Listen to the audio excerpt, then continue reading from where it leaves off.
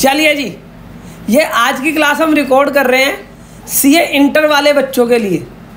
CA inter में एक chapter है कंपोजिशन स्कीम का। ठीक है ना? तो कंपोजिशन स्कीम क्या है? ठीक है ना? किसके लिए बेनिफिट है? एग्ज़ाम में कैसे कैसे क्वेश्चन आ सकते हैं? पूरा इस वीडियो में डिस्कस करेंगे। तो आप ये वीडियो अपने मई अटैम्प्ट के लिए भी यूज़ कर सकते हैं, क्योंकि हम मई 2023 को ही ध्यान में रखते हुए वीडियो बना रहे हैं।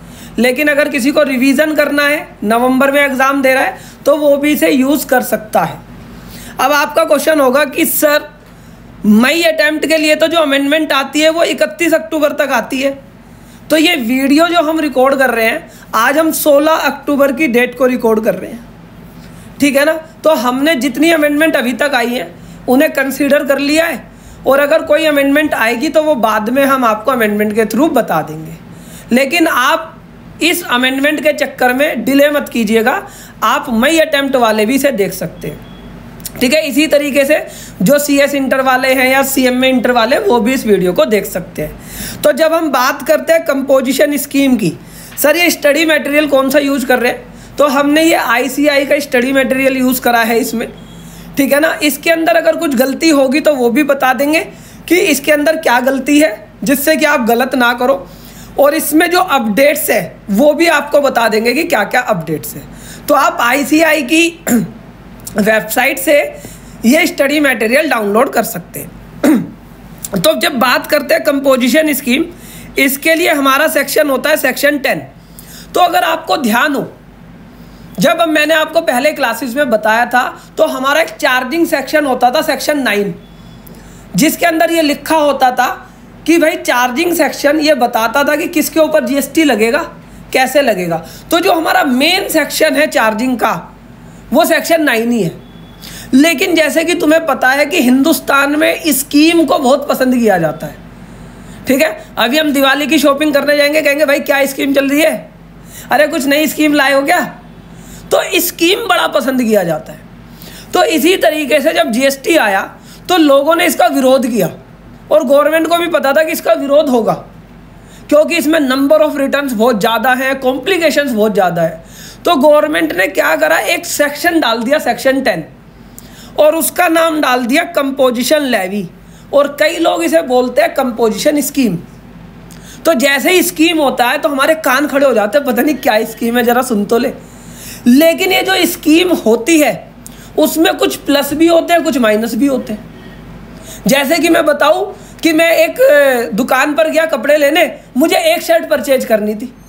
उन्होंने कहा, सर स्कीम है मैंने कहा, क्या?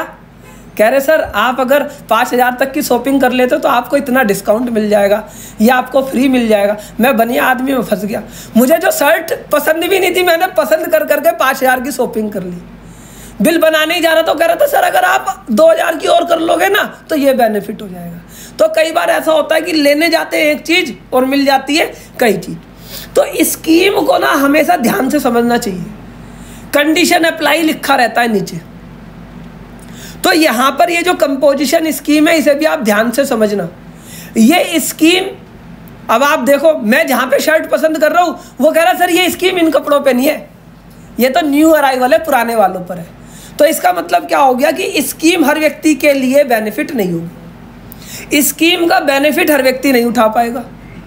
और गवर्नमेंट ने जो ये स्कीम बनाई है तो ये बात आप समझिएगा कि गवर्नमेंट को इस स्कीम से थोड़ा सा नुकसान हो रहा होगा। आपको पता है ना, जब दिवाली चलेगी तो हम भी डिस्काउंट देंगे। तो क्या हमारे को नुकसान हो रहा होगा? यस थोड़ा सा तो हो ही रहा होगा। तो यहाँ पर ये जो कंपोजिशन स्कीम है, इससे गवर्नमेंट को भी नुकसान होता है। पहले अपने माइंड में ये समझ लें। तो सर गवर्नमेंट को नुकसान होता है तो गवर्नमेंट स्कीम देती क्यों है? गवर्नमेंट की मजबूरी है। गवर्नमेंट की क्या है? मजबूरी है कि भाई ये स्कीम तो देनी पड़ेगी, नहीं तो दिक्कत हो जाएगी। नहीं तो जीएसटी में जो दिक्कतें हैं, वो हर व्यक्ति हल्ला करेगा। अब स्कीम देकर क्या हो जाएगा कि जो व्यक्ति हल्ला करेंगे तो उसे कह देंगे, जा स्कीम ले ले। लेकिन क्या ये स्कीम हर व्यक्ति के लिए बेनिफिट होगी? नहीं। तो हमारे को थ्योरी में एग्ज़ाम तो पास करना ही है।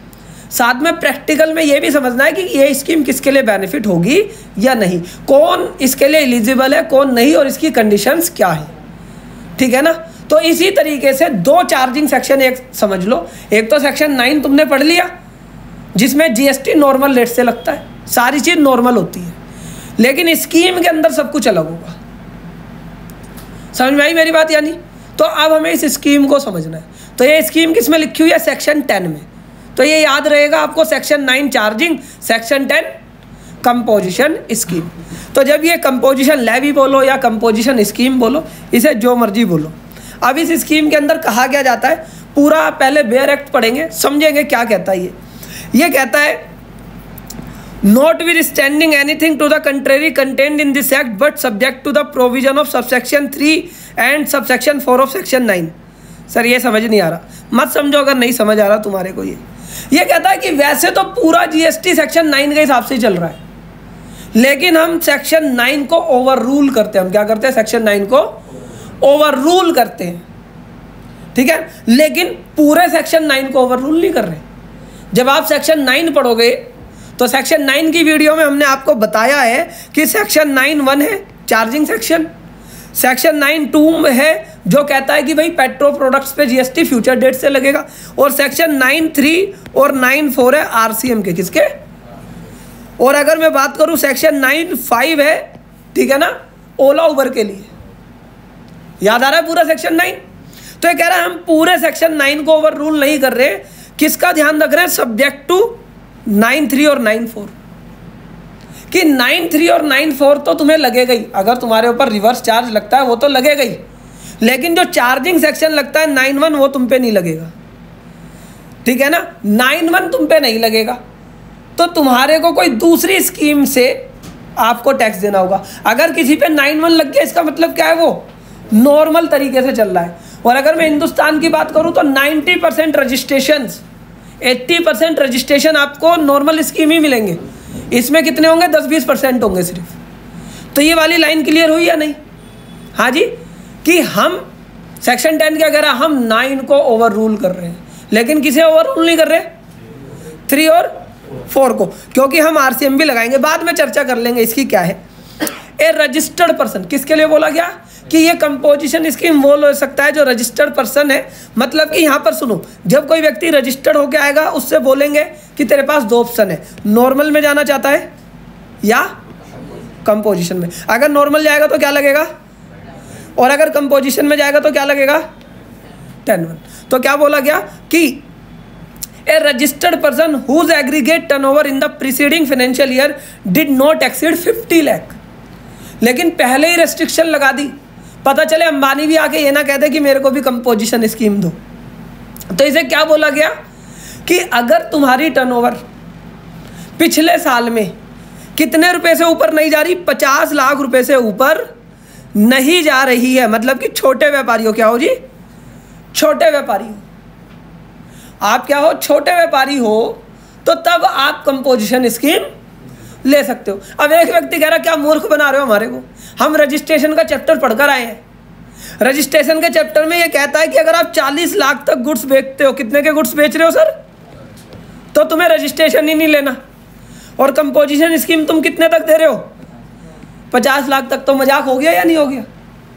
अरे चालीस तक तो रजिस्ट्रेशन ही नहीं लेना। और तुम चालीस तो इसका मतलब क्या हो गया कि इसमें कौन लोग आ जाएँगे सिर्फ़ चालीस से पचास वाले? तो गवर्नमेंट ने जब जीएसटी आया था 2017 में तो लॉ में लिखा था कि भाई पचास लाख तक वाले ही कंपोजिशन स्कीम लेंगे। लेकिन गवर्नमेंट को यह भी पता था कि हो सकता है कई स्टेट्स इसका विरोध करें। कई लोग ये कहें, पचास लाख क्या होता है भाई? कम से कम एक करोड़ तक तो दो। कम से कम डेढ़ करोड़ तक तो दो। जिससे कि हम कंपोजिशन स्कीम का सही से यूज़ कर सके। तो इन्होंने क्या करा था कि शुरुआत में टर्नओवर क्या लिखी हुई थी? पचास लाख। और यहाँ पर प्रोविजो में ऐड कर दिया था। क्या कर दिया था जी? प्रोविजो में ऐड कर दिया था कि that the government may by notification increase the said limit of fifty lakh कि ये जो लिमिट है पचास लाख की इसे बढ़ा सकती है। ठीक है?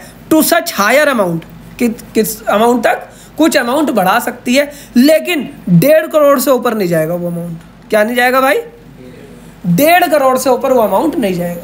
तो इसका मतलब कंपोजिशन स्कीम को इनिशियली स्टार्ट किया गया पचास लाख तक और उसके बाद क्या बोल दिया गया कि अगर तुम्हारी टर्नओवर पिछले साल में कितने लाख रुपए तक है? डेढ़ करोड़ रुपए तक है। तो आप कंपोजिशन ले सकते हो। और डेढ़ से ऊपर आप जाओगे नहीं, ये बात किसमें लिख दी? सेक्शन में। और अगर आपको डेढ़ से ऊपर कराना है तो फिर पहले इस सेक्शन को चेंज करो, तब बात करना। तो इन्होंने यहाँ पर सेक्शन में लिखी डेढ़। तो क्या हर जगह डेढ़ है? तो आंसर मैं आपको बता देता हूँ। गवर्नमेंट ने क्या करा? नोटिफिकेशन निकाल कर लाई 2019 में। कब लेकर आई? 2019 में नोटिफिकेशन लाई और इस लिमिट को 50 से बढ़ाकर कितना कर दिया? डेढ़ करोड़ कर दिया कि भाई कंपोजिशन की लिमिट कितनी होगी? डेढ़ करोड़। लेकिन कुछ स्टेट्स कहने लग गई, अरे भाई, अगर तुमने हमारे यहाँ डेढ़ करोड़ कर दी तो हर व्यक्ति किसमें चला जाएगा? कम पोजीशन में चला जाएगा, हम ये नहीं सह सकते। क्योंकि मैंने क्या बोला कम पोजीशन से गवर्नमेंट को फ़ायदा या नुकसान? गवर्नमेंट को नुकसान है। लेकिन गवर्नमेंट की मजबूरी है इसे अप्लाई करना। समझ में आ रहा है या नहीं? गवर्नमेंट हॉस्पिटल चलाने से गवर्नमेंट को फ़ायदा या नुकसान? नुकसान है। लेकिन फिर भी गवर्नमेंट चलाती है। लेकिन वहाँ पे डॉक्टरों को बता देती है कि तरीके से बात नहीं करनी है, डरा के रखना इन्हें कि ये ज़्यादा से ज़्यादा भाग जाए प्राइवेट में। ठीक है मतलब गवर्नमेंट हॉस्पिटल खोला हुआ है। ठीक है ना? लेकिन चाहती क्या है गवर्नमेंट? इच्छा क्या है गवर्नमेंट की? अच्छा है बताओ। कि इसमें कोई भी इलाज ना कराए। समझ आ रही है? तो इसी तरीके से कंपोजिशन इन्होंने डेढ़ करोड़ कर रखी है। तो कुछ स्टेट्स कहने लग गई कि भाई, अगर हमारे पास भी तुमने डेढ़ करोड़ कर दी तो हर व्यक्ति ना भाई साहब कंपोजिशन में चला जाएगा। हमें चाहिए कुछ व्यक्ति रेगुलर में भी आए जिससे ज़्यादा टैक्स आए। तो कुछ स्टेट्स ने कहा कि नहीं भाई, अपने को डेढ़ करोड़ नहीं समझ आता। अपने यहाँ ना जो लिमिट है ना, वो पिछहत्तर लाख रखो। कितने रखो? सेवेंटी फाइव लाख रखो। बिल्कुल आदि। भाई, दिल्ली की तुलना नहीं कर सकती ना कुछ स्टेट्स अगर मैं दिल्ली यूपी की बात करूँ तो दिल्ली यूपी बहुत बड़ा है। गवर्नमेंट ये सोचेगी, अरे चल, दस लाख रजिस्ट्रेशन है, आठ लाख नॉर्मल हो गए। दो लाख कंपोजिशन वाले हो जाएँगे। लेकिन अगर मैं बात करूँ, ऐसी स्टेट्स की जो नागालैंड है, वहाँ पर तो वहाँ पर तो जो रजिस्ट्रेशन कराने वाले होंगे, वो होंगे ही दस हज़ार, बीस हज़ार। और सारे के सारे किसमें पहुँच गए अगर? कम पोजीशन में तो गवर्नमेंट का रिवेन्यू क्या हो जाएगा? कम हो जाएगा। तो उन स्टेट्स ने अपनी लिमिट कितनी रखी है? सेवेंटी फाइव लाख तो आपको स्टेट वाइज क्वेश्चन भी आ सकता है कि भाई ये स्टेट वाइज क्वेश्चन आपसे पूछ सकते हैं कि भाई किस स्टेट में कंपोजिशन की क्या लिमिट है। तो अगर मैं आपको बता दूँ यहाँ पर, ठीक है ना? तो यहाँ पर हमारी कितनी स्टेट्स है भाई? आठ स्टेट्स कौन सी जी? आठ स्टेट्स ऐसी है जहाँ पर कंपोजिशन की लिमिट कितनी है? पिछहत्तर लाख। उसके बाद आप कंपोजिशन ले ही नहीं सकते। अब वो पाँच स्टेट ऐसी हैं जिनका अपना इतिहास है। ठीक है? क्या इतिहास है भाई? जरा बात कर लेते हैं किसकी? उत्तराखंड की। किसकी बात कर लेते हैं? उत्तराखंड। यहाँ पर शिव जी नाराज़ होते हैं या नहीं हो जाते? हाँ? और यहाँ पर छः महीने ही दुकानें खुलती है। अभी दिसंबर में जाके दिखाना उत्तराखंड। पहुँच जाओगे दिसंबर, जनवरी में उत्तराखंड? भाई साहब, रास्ता ही नहीं मिलेगा तुम्हें। तो इन्होंने क्या कहा? उत्तराखंड ने क्या बोला? भाई, अपने पास ना लोग बाग कम है। अपने को ना पिछहत्तर लाख, पिछहत्तर से ऊपर ही उन्हें क्या कर दो? नॉर्मल दूसरी स्टेट कौन सी है भाई अपनी? ठीक है ना? मेघालय. अब आ जाओ ये वाले. ठीक है ना जी? तो यहाँ पर की जो स्टेट्स हैं, इन्होंने क्या बोल दिया कि भाई, अपने को समझ ही नहीं आती. कौन कौन सी स्टेट्स आ गई भाई अपनी? मेघालय अरुणाचल प्रदेश, सिक्किम, त्रिपुरा, मिजोरम, मणिपुर, नागालैंड। ये नॉर्थ ईस्ट की जो स्टेट है, उसने कहा, अपने तो है ही छोटे। समझ में आ रहा है? अरुणाचल प्रदेश हो गया अपना। ठीक है, नागालैंड, मणिपुर, ठीक है ना? मिजोरम, त्रिपुरा और मेघालय। क्लियर हो गई ये वाली बात? हाँ जी। तो इन स्टेट्स में तो जब भी आपके पास कोई नॉर्थ ईस्ट की स्टेट आए तो समझ जाना कि यहाँ पर डेढ़ करोड़ लिमिट नहीं है, यहाँ पर कितनी लिमिट है? पिछहत्तर लाख। अब आप कहोगे, सर नॉर्थ ईस्ट में तो असम भी आता है। नॉर्थ ईस्ट में तो क्या आता है? असम भी आता है। जरा असम का साइज़ देख लेना। छोटा या बड़ा है असम? बड़ा है। उसने कहा, नहीं, अपने को डेढ़ चलेगा। ठीक है? अब आप कहोगे, सर, बारिश और पहाड़ तो यहाँ पर भी होते हैं, हिमाचल में? हिमाचल ने कहा, नहीं, अपने को चलेगा। ठीक है? हिमाचल ने भी मना कर दिया। कह रहे, अपने पास डेढ़ करोड़ ही चलेगी। तो अगर याद हो तो मैंने तुम्हें एक चीज़ बताई थी। स्पेशल कैटेगरी स्टेट्स, क्या बताया था? तो आप वहाँ से भी, ठीक है ना, ये चीज़ समझ सकते हो कि स्पेशल कैटेगरी स्टेट्स में लिमिट कितनी थी? पिछहत्तर लाख। लेकिन सारी स्पेशल में नहीं। तो इन दोनों ने मना कर दिया, इनके लिए कितनी है? डेढ़, और बाकियों के लिए क्या है? पिछहत्तर। तो आप ये आठ स्टेट याद रख लोगे भाई। हाँ? बोलो। क्लियर है? एग्ज़ाम में दे दोगे? ठीक है? तो नॉर्थ ईस्ट में तो यहाँ पर अगर आप सिंप्लिसिटी से समझोगे कि जो छोटी स्टेट्स है, वहाँ पर लिमिट कितनी है? पिछहत्तर, जहाँ बड़ी है, वहाँ पर कितनी है? डेढ़। क्लियर हो गया वाला मेरा कंसेप्ट तो मैंने आपको नक्शे पर भी दिखा दिया कि भाई कौन कौन सी स्टेट्स की हम यहाँ पर बात कर रहे हैं। समझ आ गई पूरी बात? चलिए।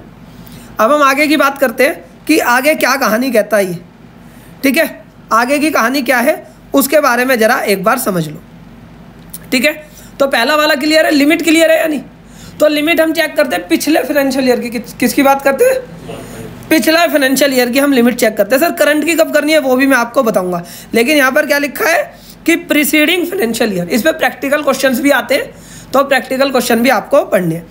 अब यहाँ पर इन्होंने ये तो समझ में आ गया कि भाई अपने को टर्नओवर कम रखनी है अगर कंपोजिशन में जाना है। अब इन्होंने कहा बेनिफिट क्या होगा? बेनिफिट तो बताओ कि बेनिफिट क्या होगा? तो इन्होंने कहा, भाई देखो, तुम सेक्शन नाइन में कितना टैक्स देते थे?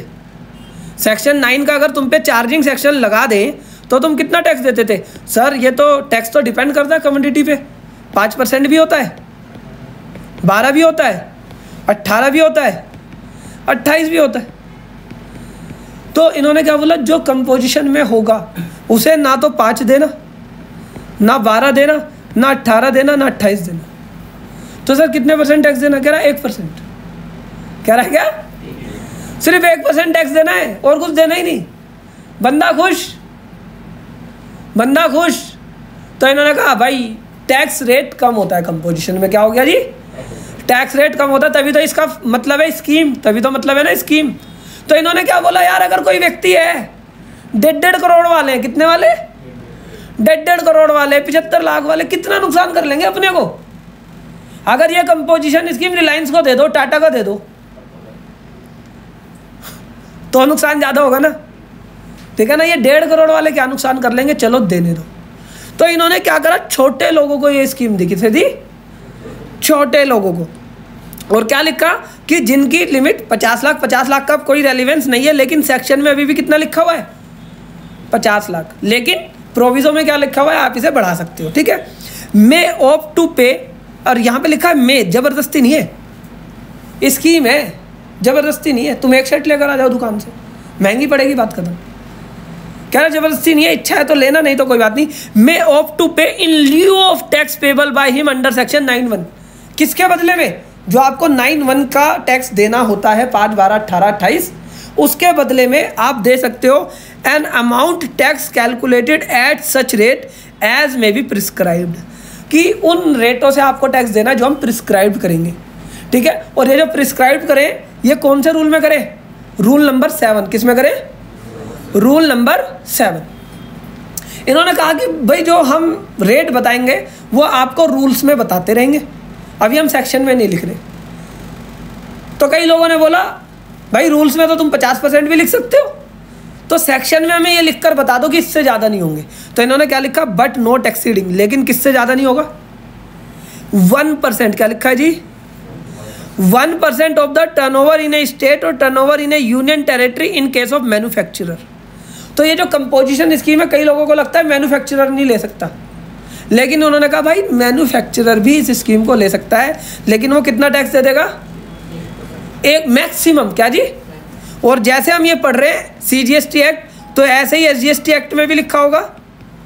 तो मैक्सिमम रेट कितना हो गया? सेक्शन में कितना लिखा हुआ है? एक percent C G S T और एक percent S G S T दो परसेंट। लेकिन फाइनल रेट किसमें डिफाइन लिखा होगा?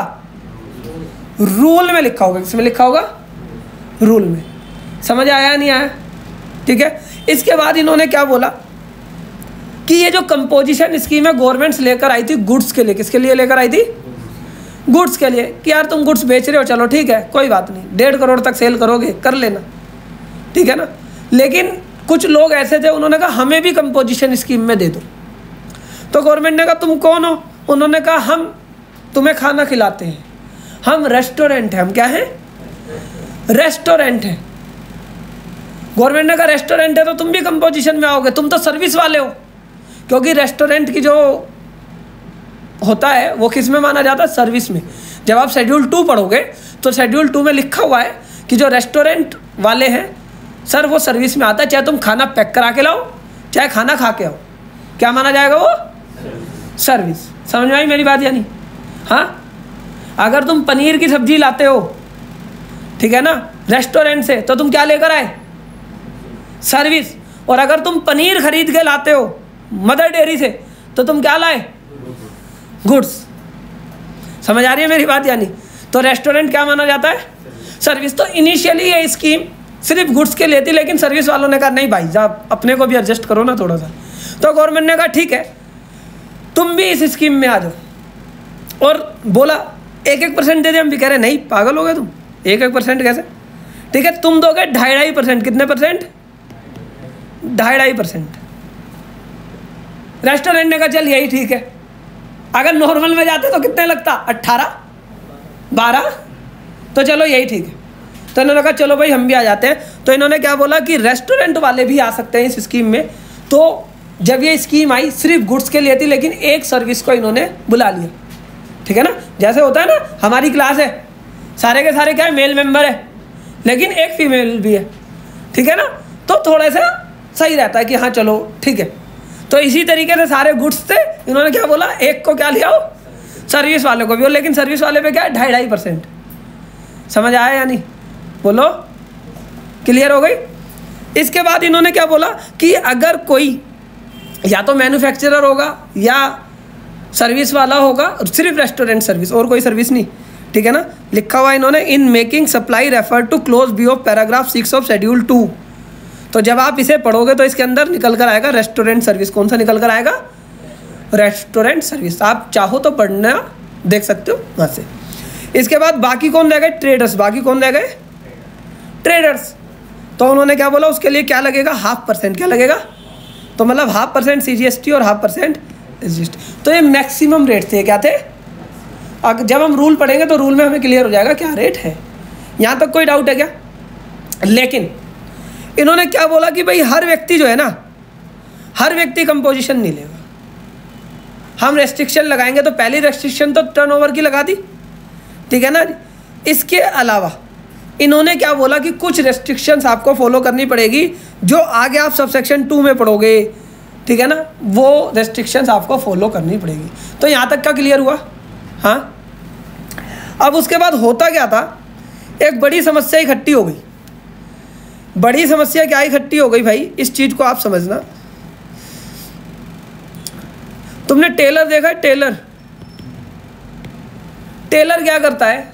ये सर्विस दे रहा है या गुड्स दे रहा है? ठीक है ना? ये सर्विस भी दे रहा होता है और कई बार जो उसमें मटेरियल लगता है, बटन धागा घर से थोड़ी मंगाता है। गुड्स भी दे रहा होता है साथ में। लेकिन मेनली क्या दे रहा होता है? सर्विस ठीक है? अगर मैं बात कर लूँ एसी रिपेयर वाले की एसी रिपेयर वाला मेनली क्या दे रहा होता है? हाँ? सर्विस लेकिन कुछ पार्ट खराब हो जाते हैं तो साथ में क्या दे देता है? गुड्स भी.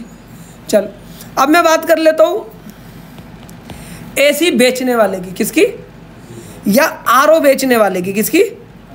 आरओ एक व्यक्ति सेल कर रहा है। आरओ एक व्यक्ति क्या कर रहा है? सेल्स कर रहा है।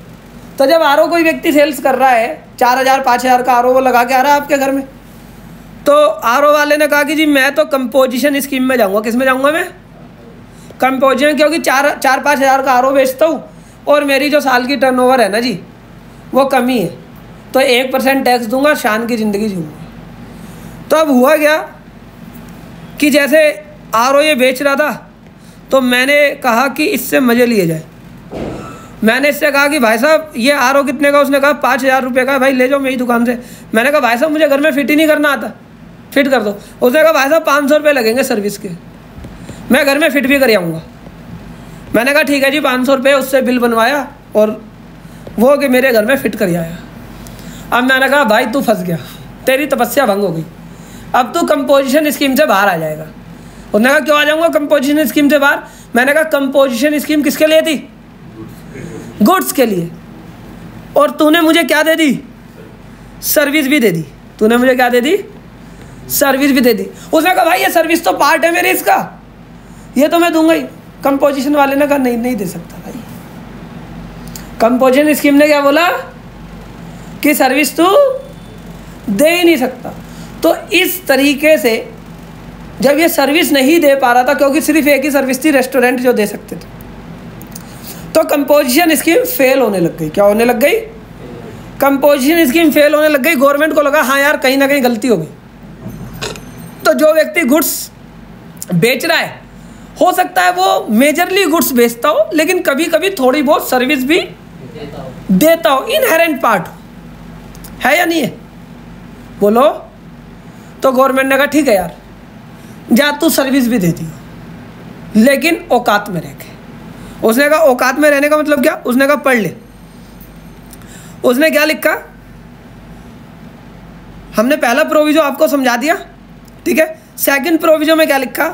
That a person who opt to pay tax under clause A clause B और clause C A B C हमारा क्या है? मैन्युफैक्चरर सर्विस रेस्टोरेंट वाली सी अदर ट्रेडर्स क्या बोला? Provided further that a person who opt to pay tax under clause A B और C मे supply service क्या लिखा है जी? कि तुम सर्विस भी सप्लाई कर सकते हो। ये पहले नहीं था प्रोविजो ये बाद में ऐड हुआ। कितनी सप्लाई दे सकते हो? उन्होंने कहा सर्विस की सप्लाई भी दे सकते हो अदर देन दोस्त मतलब रेस्टोरेंट वाली सर्विस को छोड़ के, क्योंकि वो तो अलग ही है। Of value not exceeding ten percent of the turn कि आप जो सर्विस दोगे, वो किससे ज़्यादा नहीं होनी चाहिए? आपकी टर्नओवर से दस परसेंट से ज़्यादा नहीं होनी चाहिए। In the preceding financial year और five lakh rupees whichever is higher इसे एग्ज़ाम्पल से समझते हैं। एक व्यक्ति की टर्नओवर है चालीस लाख। कितने की टर्नओवर है? चालीस लाख। सर, चालीस लाख तक तो रजिस्ट्रेशन ही नहीं है। ठीक है ना? ठीक है? चलो, मान लो, हम इसे यहाँ पर कितनी कर देते हैं? ठीक है? चालीस ही मान लो तो। ठीक है? एग्ज़ाम्पल उसी से सेट होगा। क्योंकि कई जगह पर तो गुड्स की लिमिट कितनी है? बीस ही है ना? तो वो स्टेट मान लेते हैं, मान लो। ठीक है तो हमने क्या बोला कि सेल कितनी है तुम्हारी? चालीस लाख। तो चालीस लाख का टेन परसेंट कितना हुआ? चार लाख। और पाँच lakh whichever is higher तो उन्होंने कहा, अगर आप चालीस लाख का बिज़नेस कर रहे हो तो आप कितने तक की सर्विस दे सकते हो? चार लाख नहीं भाई, पाँच लाख। कितने तक की दे सकते हो?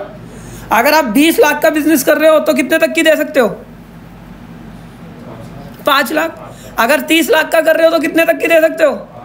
पाँच लाख। अगर साठ लाख का कर रहे हो तो कितने तक की दे सकते हो? पाँच नहीं छः lakh. Whichever is higher क्या लिखा हुआ है यहाँ पर? विच एवर इज़ हायर तो यहाँ पर आपसे क्वेश्चन पूछा जा सकता है कि एक, ठीक है, रामू है आरओ लगाता है। क्या करता है रामू? आरओ लगाता है गुड्स में डील कर रहा है। लेकिन उसे सर्विस का काम भी मिल गया तो क्या वो कंपोजिशन स्कीम में सर्विस दे सकता है? यस दे सकता है लेकिन औकात में रह के। टेन परसेंट और five lakh whichever is higher तो यहाँ पर समझ लेना तो पचास लाख से नीचे होगा तो पाँच ही लाख बैठेगा, और पचास लाख से ऊपर होगा तो फिर पाँच लाख को छोड़ देना। एग्री कर रहे हो मेरी बात से? समझ में आ गई इतनी? तो इन्होंने क्या बोला? इनिशियली पहले एक सर्विस को लेकर आए रेस्टोरेंट को, फिर दोबारा क्या बोला? चल कोई बात नहीं गुड्स के साथ थोड़ी सर्विस चलेगी। ठीक है ना? गुड्स के साथ थोड़ी सर्विस चलेगी। इसकी ना एक्सप्लेनेशन है, मैं आपको बाद में बताऊँगा। ठीक है? पहले पूरा सेक्शन एक बार रीड कर। लो ठीक है? यहाँ तक क्लियर हुआ? अब इन्होंने कहा कि तू कंपोजिशन में आ तो गया देख। लेकिन ना कुछ हमारी शर्तें माननी पड़ेगी। क्या करनी पड़ेगी? कुछ हमारी शर्तें माननी पड़ेगी। हमने कहा, बताओ भाई, क्या शर्तें माननी है तुम्हारी?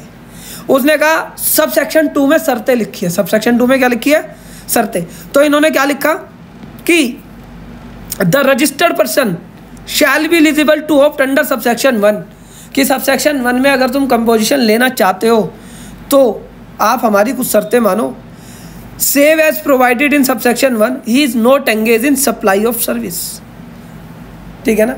He is not engage in the supply of service पहले ही बोल दिया कि ऊपर जो हमने सर्विस बोली है, वो ठीक है, लेकिन इसके अलावा आप किसमें इन्वॉल्व नहीं होगे? सर्विस में। तो मतलब चार्टर्ड अकाउंटेंट कंपोजिशन स्कीम ले सकता है क्या? बोलो। Answer is no answer is मैंने कहा भाई वो तो आरओ वाला भी तो दे रहा था। उसने कहा यार वो उसके बिज़नेस से रिलेटेड थी और कितने तक की दी थी? पाँच लाख तक की। लेकिन अगर आप सर्विस में स्पेशली डील कर रहे हो तो आप नहीं ले सकते। तो ना चार्टर्ड अकाउंटेंट ले सकता। ठीक है ना? कपिल जैन ले सकता है क्या? मैं भी तो टीचिंग कर रहा हूँ। नहीं ले सकता। अगर मेरे को अगर मेरे को कंपोजिशन स्कीम दी जाए तो सबसे पहले मैं ही लूँगा। मैं कहूँगा, यार अट्ठारह परसेंट लगता है यार। बच्चों को दर्द होता है है ना? तो यार, नहीं, एक परसेंट वाले में चले जाएँगे। तो पहले ही बोल दिया कि अगर तुम सर्विस में डील कर रहे हो तो आप कंपोजिशन अरे सर, वो ऊपर ले तो रहा है। अरे, उसे छोड़ो। उसका मेन बिज़नेस क्या है? ठीक है ना? मेन बिज़नेस गुड्स का है, वो उसके पार्ट में दे रहा है। लेकिन अगर आप यहाँ पर सिर्फ़ सर्विस में डील कर रहे हो तो नहीं। ठीक है? तो save as provided in subsection one मतलब जो सबसेक्शन वन है, वो सर्विस तो दे सकता है, लेकिन उसके अलावा आप सर्विस वाले व्यक्ति को नहीं कर सकते। समझ आया या नहीं? बोलो। उसके बाद, इसने क्या बोला? ठीक है? He is not engage in making interstate outward supply of goods और सर्विस क्या रहा भाई, औकात में रहना। अगर आप कंपोजिशन में हो तो पिंजरे में रहो। किसमें रहो? पिंजरे में रहो। मतलब अपनी स्टेट में रहो। किसमें रहो? अपनी स्टेट में रहो। आप दूसरी स्टेट में इंटर स्टेट क्या बोल रहा है जी? इंटर स्टेट ना तो गुड्स भेज सकते, ना कोई सर्विस दे सकते। ना इंटर स्टेट गुड्स में जाओगे, ना सर्विस में जाओगे, ठीक है ना? आप अपनी स्टेट्स में रहो। ठीक है? क्या मैं परचेज कर सकता हूँ दूसरी स्टेट से? एग्ज़ाम में क्वेश्चन आएगा कि एक कंपोजिशन डीलर है, उसने दूसरी स्टेट से परचेज कर लिया। इनवर्ट सप्लाई कर ली तो क्या वो कंपोजिशन से बाहर हो जाएगा? आंसर इज़ नो क्योंकि यहाँ पर किस पे लगाम लगाई है? आउटवर्ड सप्लाई तुम नहीं कर सकते, लेकिन इनवर्ट सप्लाई तो तुम कर सकते हो। समझ आ गई ये वाली चीज़ यानी? तो पहली रेस्ट्रिक्शन बताई कि सर्विस नहीं कर सकते, दूसरी बात क्या बोला जी? इंटर स्टेट नहीं कर सकते। सर्विस गवर्नमेंट ने क्यों मना करा इन लोगों को? अरे सर्विस में तो गवर्नमेंट कहती है, भाई साहब नहीं, बहुत नुकसान हो जाएगा। समझ में आई बात? अगली चीज़। इन्होंने क्या बोला? अभी मैंने बी पॉइंट नहीं पढ़ाया, पढ़ाता हूँ आपको। तीसरा पॉइंट क्या बोला? He is not engage in making any supply of goods और service through an electronic commerce operator कि भाई आप ना ई कॉमर्स ऑपरेटर के थ्रू क्या बोला जी? ई कॉमर्स ऑपरेटर के थ्रू कुछ भी माल नहीं बेचोगे। ई कॉमर्स ऑपरेटर के थ्रू कोई भी माल आप नहीं सेल करोगे। कौन सा ई कॉमर्स ऑपरेटर जो कि टी सी एस काटता हूँ। ठीक है ना? तो आप फ्लिपकार्ट अमेजन के थ्रू कुछ नहीं बेचोगे। क्योंकि फ्लिपकार्ट अमेजन क्या काटती है? टी सी एस काटती है। क्या काटती है ये? टी सी एस काटती है। तो उन्होंने कहा, आप इसके थ्रू माल नहीं बेचोगे। क्लियर हुआ यहाँ तक? समझ आ रही है वाली बात? ठीक है? इसके बाद क्या कहता है? अब एक व्यक्ति था जो तंबाकू बनाता था। तुमने सुना है? ठीक है? चैनी खैनी। स्वागत तंबाकू। क्या जी? सुना है, नहीं सुना? हाँ? अब ये जो स्वागत तंबाकू बनाते थे। अब तुम्हें क्या लगता है तंबाकू पे कितना जीएसटी रेट होगा? अट्ठाईस परसेंट? पता नहीं प्लस पता नहीं क्या क्या होगा। अब दो लोग खैनी मसल रहे और बात कर रहे हैं। देख रहा है ना विनोद? ठीक है? तंबाकू पे जीएसटी कर दिए, अट्ठाईस परसेंट जीएसटी लग गया। अब ये स्वागत तंबाकू महँगा हो जाएगा। उसने कहा, नहीं नहीं अब वो तो स्वागत तम्बाकू वाला सुनना कह रहा, नहीं नहीं, मैं क्या करूँगा ना? कम पोजीशन में आ जाऊँगा। किसमें आ जाऊँगा? कम पोजीशन में आ जाएगा। अब भाई जैसे ही से लगा कि कम पोजीशन में आ जाएगा, अब भाई मोदी जी को गुस्सा आ गया कि एक तो तू तंबाकू बेच रहा है और अब तू कम पोजीशन में आ जाएगा, कह रहा हाँ आ जाऊँगा, क्या कर लोगे? ठीक है ना? क्या कर लोगे? अपने घर वालों के सबके नाम, पैन नंबर से अलग अलग कंपोजिशन ले लूँगा। लेकिन विनोद को दिक्कत नहीं होने दूँगा इसे। ठीक है? इसे अट्ठाईस परसेंट नहीं देने दूँगा, नहीं तो प्रोडक्ट हो जाएगा महँगा। तो मोदी जी ने क्या बोला कि भाई, ऐसा करो, ऐसा लिख दो कि कुछ प्रोडक्ट्स ऐसे होंगे जो कंपोजिशन में जा ही नहीं सकते। तो इन्होंने क्या लिखा कि जो भी व्यक्ति मैन्युफैक्चरर होगा, ये किसके लिए? मैन्युफैक्चरर के लिए। ठीक है, यहाँ पर ट्रेडर्स के लिए नहीं है। किसके लिए? मैन्युफैक्चरर्स के लिए। कि he is not manufacturer of such goods as may be notified by the government on the recommendation of council कि गवर्नमेंट को जहाँ भी लगा इसकी मैन्युफैक्चरिंग में ये लोग कंपोजिशन में जाके गवर्नमेंट को नुकसान कर सकते हैं तो ये उसमें लिस्ट में ऐड कर देंगे। और ये list time to time change होती रहती है। तो इसका मतलब अगर आप कंपोजिशन में हो इंटर स्टेट नहीं जा सकते भाई। ठीक है सर्विस में डील नहीं कर सकते। ई कॉमर्स ऑपरेटर के थ्रू नहीं काम कर सकते। और जो बैन गुड्स है, कौन है जी? बैन गुड्स बैन गुड्स मतलब जो गवर्नमेंट नोटिफाइड कर रहे हैं। ठीक है तो गवर्नमेंट ने नोटिफाइड जर्नली अट्ठाईस परसेंट वालों को ही करती होंगी। ठीक है ना? कि जिससे कि गवर्नमेंट को ज़्यादा नुकसान हो जाए तो उन्हें कह रखा है कि तुम इसमें डील नहीं कर सकते। किसके लिए? मैन्युफैक्चरर के लिए। समझ आ गई ये वाली कहानी या नहीं? हाँ? इसके अलावा, तुम पढ़कर आए थे एक बार सेक्शन ट्वेंटी सेवन मैंने तुम्हें पढ़ाया था शुरुआत में। एक होता है ना कैजुअल टैक्सेबल पर्सन ठीक है, जो तीन ही महीने के लिए रजिस्ट्रेशन लेता है। एक होता है नॉन रेजिडेंट टैक्सेबल पर्सन उन्होंने कहा, तुम क्या करोगे कंपोजिशन लेके? तो जाओ, तुम भी कंपोजिशन नहीं ले सकते। तो जो नो कैजुअल टैक्सेबल पर्सन होगा, या जो एनआरटीपी होगा, वो भी कंपोजिशन नहीं ले सकता। क्लियर हो गई? चलो। अब हुआ क्या भाई? ये वाली सारी कंडीशन क्लियर हो गई। अब एक व्यक्ति क्या था? ठीक है ना? एक व्यक्ति क्या था? पेट्रोल पंप पे था। पेट्रोल पंप की बात कर लो, या बात कर लो, ठीक है? किसकी? जहाँ पर शराब सर्व होती है इसे कुछ लोग मंदिर कहते हैं, कुछ लोग मधुशाला कहते हैं। ठीक है? इन दोनों का ही हम एग्ज़ाम्पल ले रहे हैं। अब तुम्हें पता है पेट्रोल पर जीएसटी है क्या? नहीं।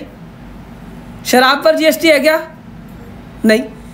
अब किसी व्यक्ति से पूछोगे कि शराब और पेट्रोल पर जीएसटी क्यों नहीं है? तो कहेगा कि भाई ये इसलिए नहीं है क्योंकि गवर्नमेंट देखो, इनके लिए ना छूट दे दिया। भाई छूट नहीं है।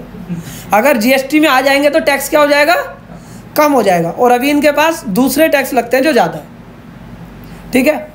तो एक व्यक्ति ने क्या करा? पेट्रोल पंप पे क्या सोचा कि मैं भी कंपोजिशन ले लूँ? क्या ले लूँ? अरे सर, पेट्रोल पे तो जीएसटी नहीं है कंपोजिशन क्यों ले रहा है। वो पेट्रोल पंप के साथ साथ ना लुब्रिकेंट ऑयल भी बेचता है। ठीक है ना? चिप्स वगैरह भी बेचता है कोल्ड ड्रिंक वगैरह भी बेचता है। उसने क्या सोचा? कंपोजिशन तो अगर वो कंपोजिशन स्कीम ले ले रहा है तो समझना वो क्या खेल खेल सकता है। उसने कंपोजिशन स्कीम ले ली किसके लिए? चिप्स के लिए। कोल्ड ड्रिंक के लिए लुब्रिकेंट ऑयल के लिए। और पूरे साल में लुब्रिकेंट इसकी सेल करी बीस लाख। कितनी करी? और जो पेट्रोल बेचता था, उसके पैसे भी इसी सेल में दिखा दिए। क्या बोला कि मैंने पेट्रोल सेल नहीं करा? मैंने करा ऑयल सेल करा है। और पेट्रोल पर गवर्नमेंट को टैक्स आ जाता एक्साइज वैट मान लो चालीस परसेंट तो यहाँ पर ये कंपोजिशन वाला कितना दे रहा था? One percent. अगर मैं शराब की बात करूँ तो वो क्या कर रहा था कि बेचता शराब था। कहता था, लेकिन शराब नहीं बेची, मैंने क्या बेचा? चखना बेचा साथ में। तो गवर्नमेंट ने क्या कहा, अगर तुम ऐसे प्रोडक्ट में डील कर रहे हो जिस पर जीएसटी नहीं है। क्या बोला? तुम अगर ऐसे प्रोडक्ट में डील कर रहे हो जिस पर क्या नहीं है? जीएसटी नहीं है तो इसका मतलब कुछ और होगा। तो आप कंपोजिशन नहीं ले सकते। बी पॉइंट क्या था? He is not engage in making any supply of goods और service which are not leviable to tax under this act तो अगर, देखो, मैं तुम्हें सिंपली ये भी समझा सकता था, यार, जो जिस पे टैक्स नहीं है। जीएसटी में तो वो कंपोजिशन ले सकता, लेकिन मैंने आपको क्यों बताया? कि आप लॉजिक समझ लो। लॉजिक से चीज़ों को समझ लो। तो ये आपको रेस्ट्रिक्शंस याद रखनी है, और आपको लॉजिक भी क्लियर होना चाहिए कि ये रेस्ट्रिक्शंस क्यों है। कोई डाउट यहाँ तक? बोलो क्लियर हो गया यहाँ पे कहानी? तो पहला आपको ये समझना होगा कि ये कंपोजिशन कैसी है। ठीक है? अब मैं तुमसे एक क्वेश्चन पूछूँगा एग्ज़ाम में क्वेश्चन आएगा, और तुम कंफ्यूज हो जाओगे। ठीक है? आपको पता है जीएसटी यहाँ पर पेन नंबर है, कपिल जैन का। मैंने एक दिल्ली में ब्रांच खोल ली अपनी। ठीक है? लेट सपोज़ मेरा प्रोविज़न स्टोर है। क्या ही मेरा? प्रोविज़न स्टोर है, जैन किराना स्टोर ठीक है? जैन किराने स्टोर की मैंने एक दिल्ली में ब्रांच खोल ली और एक मैंने ब्रांच खोल ली यूपी में। दिल्ली में मैं सेल करता हूँ पचास लाख रुपए की साल की और यूपी में सेल करता हूँ सत्तर लाख रुपए की सेल की। तो बताओ, क्या मैं कंपोजिशन स्कीम ले सकता हूँ? इन्होंने कहा, नहीं ले सकते। अभी तक जितनी कंपोजिशन स्कीम पढ़कर आए हो तो बताओ क्या दिक्कत है? मैं यूपी में दुकान खोलकर यूपी में सेल कर रहा हूँ, दिल्ली से दुकान खोलकर दिल्ली में सेल कर रहा हूँ तो क्या दिक्कत है? है? हाँ तो पेन एक ही है तो क्या दिक्कत है? यहाँ पर भी कंपोजिशन ले रखा है, और यहाँ पर भी कंपोजिशन ले रखा है तो क्या दिक्कत है? बोलो एग्ज़ाम में ऐसा क्वेश्चन आएगा, तुम कहोगे नहीं। अरे, अभी जितनी रेस्ट्रिक्शन लगाकर आए हैं हम कोई रेस्ट्रिक्शंस क्या है? बताओ, कोई कोई बैन करती है? टर्नओवर उसने क्या बोला था? डेढ़ करोड़ से ऊपर? नहीं होनी चाहिए तो मेरी टर्नओवर कितनी है? एक बीस की है, मैं ले सकता हूँ। वो क्या कहता था? विद इन स्टेट बेचना है। तो मैं विद इन स्टेट बेच रहा हूँ। वो कह रहा था गुड्स बेचने सर्विस नहीं बेचनी तो मैं गुड्स बेच रहा हूँ। मैं कोई तंबाकू खैनी रेस्ट्रिक्टेड गुड्स नहीं बेच रहा। समझ आ रही है मेरी बात? तो क्या मुझे मना है? आंसर इज़ नो मुझे मना नहीं है। तो एग्ज़ाम में अगर ऐसा क्वेश्चन आए तो गड़बड़ मत कर जाना। उसने बोला था कि दिल्ली से यूपी नहीं भेज सकते। इंटर स्टेट सेल नहीं कर सकते, लेकिन विद इन स्टेट सेल कर सकते हैं। तो चाहे मैं दिल्ली यूपी हरियाणा तीन जगह अपनी खोल लूँ ब्रांच लेकिन मुझे टोटल टर्नओवर चेक करनी है। क्या करनी है? टोटल टर्नओवर अब क्या हुआ? तो एक दिल्ली में मैंने अपने एक बेटे को बिठा दिया, बड़े बेटे को। यहाँ पे यूपी में छोटे बेटे को बिठा दिया। ठीक है? सेल कर रहे थे दोनों। अब आपस में दोनों भाइयों की नहीं बनी। तो एक भाई कहता है कि भाई, मैं तो ऐसा करूँगा। मैं ना कंपोजिशन में जाऊँगा ही नहीं। मैं तो रेगुलर में जाऊँगा। मैं किसमें जाऊँगा? सेक्शन नाइन मैंने कहा, भाई, तू ऐसा क्यों कह रहा है, छोटे?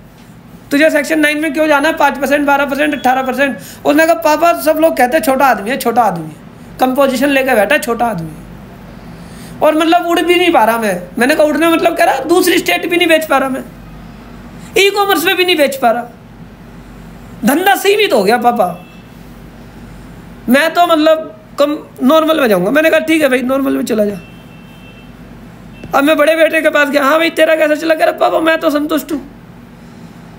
अपनी तो पचास लाख की सेल हो जाती है, वही खर्चा, वही कुछ। तो मैं तो कंपोजिशन में रहूँगा। अब ये किसमें जाना चाह रहा है? नॉर्मल में डिपार्टमेंट के पास गया। पैन नंबर किसका है? कपिल जैन का। उन्होंने कहा, ऐसे नहीं हो सकता। एक बाप दो बेटे अलग अलग रास्ता। ये मंजूर नहीं करेंगे। दोनों को एक ही रास्ते पे चलना पड़ेगा। तो क्या बोला कि अगर आपका पेन नंबर एक ही अगर आपका क्या है? पैन नंबर एक ही है तो आप ऐसा नहीं कर सकते। एक रजिस्ट्रेशन के लिए कंपोजिशन ले लो और एक के लिए नॉर्मल तो एक किसमें लिखा? प्रोविज़न में लिखा। किसमें लिखा? सबसेक्शन टू के प्रोविजो में। कि provided that where more than one registered person ठीक है ना? तो दिल्ली और यूपी दोनों अलग अलग रजिस्टर्ड पर्सन हो गए भाई। बोलो जी। है ना? Having the same PAN number और पेन नंबर क्या था उनका same the registered person shall not be eligible to opt for the scheme under subsection one unless all such registered person opt to pay tax under that subsection कि भाई सब आदमियों को ना एक ही स्कीम में जाना पड़ेगा। एक नॉर्मल और एक कंपोजिशन में नहीं जा सकता। तो क्लियर हुआ सब सेक्शन टू तो कई सारी रेस्ट्रिक्शन है। क्या है जी? तो सेक्शन सब सेक्शन टू हमारा बंदिशें बनाता है। क्या बनाता है? बंदिशें क्लियर हो गया? अब भाई ये स्कीम चल रही थी अपनी मस्ती में। इसके बाद सब सेक्शन थ्री है, वो पढ़ाऊँगा फोर पढ़ाऊँगा। ये स्कीम अपनी मस्ती में चल रही थी। एक दिन ना सी ए साहब नाराज़ हो गए गवर्नमेंट से। उन्होंने कहा, यार, क्या करते हो तुम? गुड्स वालों को कंपोजिशन दे दी और हमें कंपोजिशन नहीं दी। उन्होंने कहा, तुम कौन? कह रहे, हम सर्विस वाले कह रहे, तुम्हें अगर कंपोजिशन दे दोगे तो तुम तो नुकसान कर दोगे. डेढ़ कर, क्योंकि उन्होंने सर्विस पे क्या बोला? कि भाई सर्विस पे जर्नली जो रेट है, अट्ठारह परसेंट है। और गुड्स में तो कोई व्यक्ति पाँच परसेंट में भी डील कर सकता है, बारह में भी डील कर सकता है। उन्होंने कहा, नहीं भाई साहब, अपने को भी ना कंपोजिशन दो। सर्विस वालों ने बोला। उन्होंने कहा, भाई, पहले ना कुछ चीज़ें और समझ लो। उसने कहा, क्या समझाओगे और चीज़ें? उन्होंने कहा, सब सेक्शन थ्री समझ लो। उन्होंने क्या लिखा है? Sub section three sub section four sub section five में। ठीक है? ज़रा ध्यान से समझिएगा, तब आपको आगे की कहानी समझ आएगी। ठीक है ना? सब सेक्शन फोर पढ़ा रहा हूँ मैं। उन्होंने कहा a taxable person to whom the provision of subsection one apply shall not collect any tax from the recipient कि जो भी व्यक्ति कंपोजिशन लेगा, वो कोई भी टैक्स कस्टमर से कलेक्ट नहीं करेगा। जैसे सेक्शन नाइन वाले करते हैं। ये सारा टैक्स ही अपनी जेब से ही देंगे। उन्होंने कहा, हम अपनी जेब से क्यों दें? उन्होंने कहा, एक ही तो परसेंट है, क्यों हो रहा है? डेढ़ करोड़ की सेल पे कितना टैक्स डेढ़ लाख। तो दे दे अपनी जेब से। ठीक है ना? जब तो इतना बेनिफिट दे रहा है कॉस्टिंग में ऐड कर लियो। उसने कहा, चलो ठीक है। हम अपनी जेब से दे देंगे। और आगे क्या लिख दिया? And shall not collect any ठीक है ना क्या लिखा? Apply shall not collect any tax from the recipient on supply made by him और nor shall be entitle to take any credit of input tax कि वो साथ में कोई भी आईटीसी क्लेम नहीं करेंगे। अब यहाँ पर देखो, बड़े मज़े की बात समझना। अब मैं तुम्हें एक चार्ट से इस चीज़ को समझ समझाऊँगा कि लेट सपोज़ एक प्रोविज़न स्टोर है। क्या है जी? छोटा दुकानदार है प्रोविज़न स्टोर है। वो उसकी जो सेल है, पाँच परसेंट की है, बारह की है अट्ठारह की है, अट्ठाईस की है। ऐसे होगी। ये क्या करता होगा? जर्नली एक करोड़ का माल खरीद के लाता होगा। और कितने का सेल कर देता होगा? एक करोड़ दस लाख का। समझ पा रहे हो मेरी बात यानी जब ये एक करोड़ का माल पीछे से खरीद के लाता होगा तो जिन भी कंपनियों से खरीद के ला रहा है, वो बिल देती होंगी, उस पर जीएसटी लगाती होंगी। लेकिन अगर ये कंपोजिशन को सिलेक्ट करता है तो गवर्नमेंट ने क्या कहा कि एक करोड़ पे जो तेरे पे आईटीसी लगकर आया, दस लाख रुपए का, हम तुझे वो आईटीसी नहीं देंगे। हम वो आईटीसी तुझे नहीं देंगे। और अगर ये एक करोड़ का माल कितने में बेच रहा है? एक करोड़ दस लाख में। अगर ये, समझना, अगर ये जीएसटी में ही रजिस्टर्ड होता और नॉर्मल स्कीम में होता तो इसे कितने पे टैक्स देना होता सिर्फ़? डिफरेंस अमाउंट पे तो देना होता है नॉर्मल स्कीम में। ठीक है? जो मार्जिन है उसका तो दस लाख पे टैक्स देना पड़ता। दस लाख पे, मान लो पाँच परसेंट है टैक्स कितना जाता? पचास हज़ार। है या नहीं? लेकिन कंपोजिशन में आने के बाद गवर्नमेंट ने इसका आईटीसी ख़त्म कर दिया। इसका आईटीसी क्या कर दिया? और क्या बोल दिया कि जो तूने एक करोड़ दस लाख की सेल करी है, मुझे इस पर एक परसेंट दे दे, एक लाख? दस हज़ार। तो गवर्नमेंट खेल गई इसके साथ। पहले टैक्स आ रहा था पचास, और अब टैक्स कितना आ रहा है? एक दस। लेकिन लेकिन अगर ये पीछे से कुछ ऐसा परचेज कर रहा है जिस पर टैक्स का लॉस नहीं है इसका, इसे आईटीसी का लॉस ही नहीं होता है, तब तो कंपोजिशन इसके लिए बेटर है। अदरवाइज़ इसके लिए कंपोजिशन बेटर है क्या? नहीं। अगर इसके जो कस्टमर है, जिन्हें माल बेचता है, वो सामने वाले व्यक्ति आईटीसी ले लेंगे, क्या ले लेंगे? तो इसे कोई बेनिफिट नहीं है। ठीक है? अब हम यही बात करते हैं सर्विस के एंगल से। किसके एंगल से? मैं आपको सर्विस दे रहा हूँ, आपको पढ़ाता हूँ। और लेट सपोज़ मेरी टर्नओवर डेढ़ करोड़ है। तो डेढ़ करोड़ की टर्नओवर पर कितने लाख रुपए का जीएसटी हो गया आउटपुट सत्ताईस लाख का। बोलो जी। सत्ताईस लाख का हो गया। अच्छा मैं सर्विस देने में इन्वर्ट सप्लाई कितने की लूँगा? सर्विस के केस में। सर्विस के केस में इन्वर्ट सप्लाई कितने की लूँगा? तो गवर्नमेंट को कहना है कि हो सकता है कि जो ये इनवर्ट सप्लाई लो, इस पर ज़ीरो जीएसटी हो। क्या हो जी इस पर? जीएसटी क्या हो? ज़ीरो और अगर हम तुम्हें सर्विस वालों कंपोजिशन के अंदर ले आएँगे तो हमारा कितने का नुकसान होगा? सत्ताईस लाख में से डेढ़ करोड़ पे कितनी दे दोगे? एक परसेंट दे दोगे ज़्यादा से ज़्यादा, डेढ़ लाख? दो लाख, तीन लाख? अपने को इतना नुकसान नहीं लेना। मैंने कहा, गुड्स वालों को क्यों दिया? उन्होंने कहा, देखो, गुड्स वाले अगर डेढ़ करोड़ की सेल करते हैं तो उसे परचेज करने के लिए कम से कम एक चालीस का माल तो परचेज करेंगे, एक बीस का माल तो परचेज करेंगे, और जिससे वो परचेज कर रहे होंगे, हो सकता है वो रजिस्टर्ड हो तो वहाँ पर हम उसका आईटीसी खा जाएँगे। तो इसलिए गुड्स वालों में हमें ज़्यादा नुकसान नहीं होगा। समझ आ रही है? कहानी नहीं आ रही। लेकिन सर्विस वालों, तुम में ज़्यादा नुकसान है। मैंने कहा, फिर रेस्टोरेंट्स वाले को क्यों दे दी तूने? भाई रेस्टोरेंट वालों को क्यों दे दी तुमने? कंपोजिशन कह रहे रेस्टोरेंट से कितना टैक्स लेते हैं? कितना लेते हैं? पाँच परसेंट। और रेस्टोरेंट के अंदर रेस्टोरेंट के अंदर जो हम पाँच परसेंट का टैक्स लेते हैं तो रेस्टोरेंट वाला भी खुश है, क्योंकि उसे तो आईटीसी लेतना ही नहीं होता किसी पे। जो सब्ज़ियाँ खरीद के लाता है वो कहता, मुझे तो वैसे आई टी नहीं मिलता, मसालों पे मिलता था, उसे छोड़ देंगे। लेकिन सुकून की ज़िंदगी जी रहे कितनी? ठीक है, पाँच परसेंट तो सर्विस वालों की एक डिमांड थी, बहुत टाइम से। किसकी? सीए की। किसकी? आर्किटेक्चर सर्विस की। कई सर्विस वालों की थी, भाई, जैसे तुमने रेस्टोरेंट को दिया, हमें भी कंपोजिशन दो। हमने कहा, भाई कंपोजिशन तो गुड्स के लिए सर्विस के लिए नहीं है। तो इन्होंने कहा, फिर रेस्टोरेंट को क्यों दी? तो इन्होंने कहा, चलो ठीक है, जाओ, तुम भी खुश हो जाओ। जाओ, तुम भी खुश हो जाओ सर्विस वालों, हम तुम्हें भी कंपोजिशन देंगे। और इसके लिए एक नया सेक्शन इंसर्ट किया गया, जिसका नाम था टेन टू ए। क्या था जी? Ten two A. तो now there is two scheme in composition first is ten one, और second one is ten two A. और ये टेन टू ए किसके लिए हुई? सर्विस के लिए। तो टेन टू ए में रेट क्या लग रखा हुआ एक परसेंट। इन्होंने कहा सर्विस के लिए पहले ही हम कितना रखे हैं? पाँच।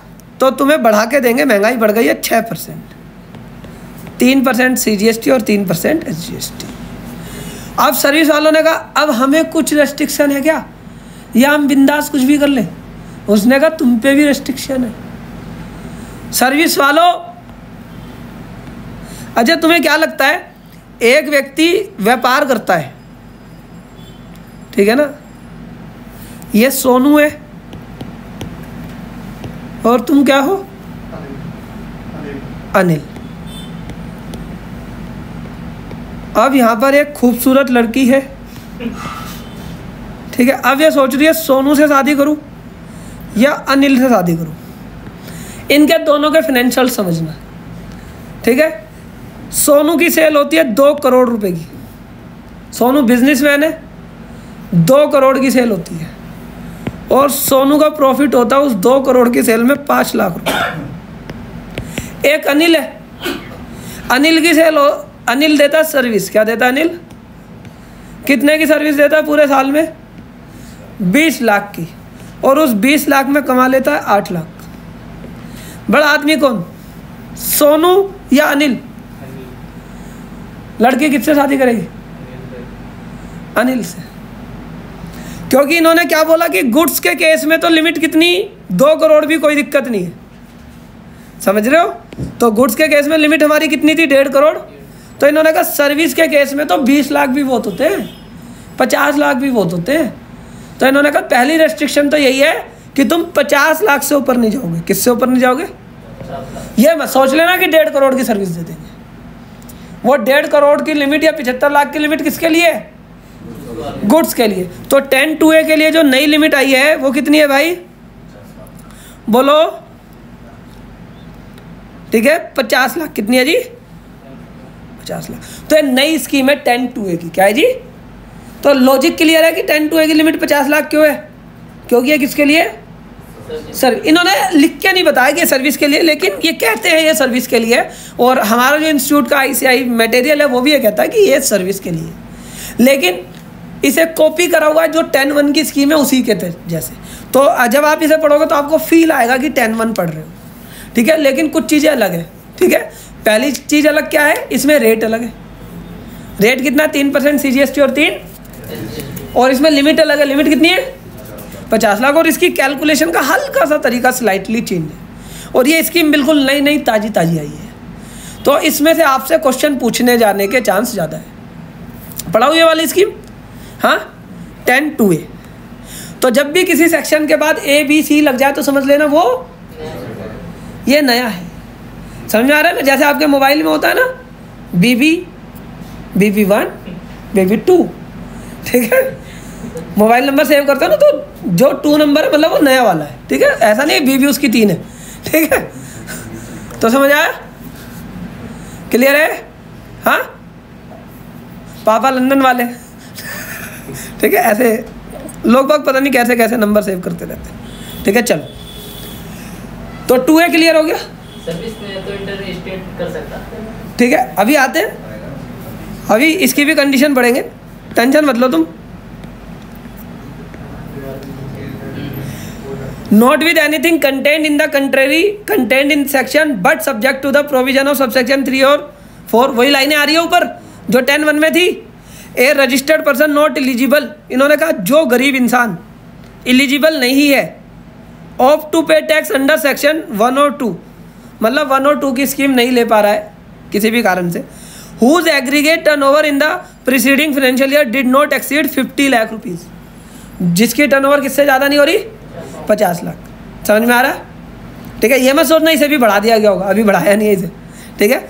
May opt to pay in lieu of tax payable under sub section nine one charging section की जगह, जो वो पाँच, बारह अट्ठारह अट्ठाईस देता था an amount of tax calculated at such rate as but not exceeding three percent of the turn over of state और turn over in the union territory समझ में आ गई? तो टेन टू ए किसके लिए है भाई? पचास लाख वालों के लिए। ठीक है जी? और तीन परसेंट का सी जी एस टी तीन का एस जी एस टी इसके लिए भी वही कंडीशन है। Engage in making any supply of goods और service which are not leviable to tax भाई, तुम नॉट लेविएबल वाले में मत जाना। ठीक है? ऊपर पढ़कर आए हम। दोबारा तो नहीं एक्सप्लेन करना। Engage in making any inter state कह रहे, भाई, औकात में रहना। स्टेट में ही रहना। ठीक है ना? समझ आई? अगर आप दिल्ली में हो तो सर्विस देते देते गुड़गावा ना चले जाना। सर्विस देते देते यूपी ना चले जाना। और अगर तुम्हें यूपी गुड़गांव जाने का शौक है तो नॉर्मल में रहो। Engage in making supply of goods और service through e commerce operator भाई ई कॉमर्स ऑपरेटर के थ्रू मत देना। समझ में आ गई? ए मैन्युफैक्चर मतलब ऊपर वाली सारी चीज़ों को कॉपी पेस्ट कर दिया। ठीक है? तो मैं इसे यहाँ पर रिपीट नहीं कर रहा। तो टू ए में जो डिफ्रेंशिएट पार्ट है वो मैं आपको समझा चुका। क्लियर हो गई ये कहानी यहाँ तक? इसमें कोई डाउट हो तो बोलो। नहीं है इसमें कोई डाउट सब सेक्शन फोर में तुम्हें पढ़ा चुका। भाई, चाहे एक परसेंट देना है, चाहे पाँच परसेंट देना है, चाहे छः परसेंट देना है, सबके सब कहाँ से देंगे? अपनी जेब से। तुम क्लाइंट से कुछ भी कलेक्ट नहीं करोगे और तुम ना बिल ऑफ़ क्या बोला जी? बिल ऑफ़ सप्लाई इशू करोगे। क्या इशू करोगे? टैक्स इनवॉइस इशू ही नहीं करोगे। तो टैक्स लोगे ही नहीं। और आईटीसी हम तुम्हें देंगे। नहीं समझ आ गई ये वाली चीज़ यानी तो यहाँ पर जो इन्होंने लिखा है, ये वन के लिए भी यही रेस्ट्रिक्शन है और टू के लिए भी टू ए के लिए भी यही रेस्ट्रिक्शन है। सब सेक्शन फोर में एक अलग से रेस्ट्रिक्शन है। तो ये मत सोचना कि रेस्ट्रिक्शन सिर्फ़ सब सेक्शन टू में है टू ए में है। ठीक है? आईटीसी वाली रिस्ट्रिक्शन किसमें है?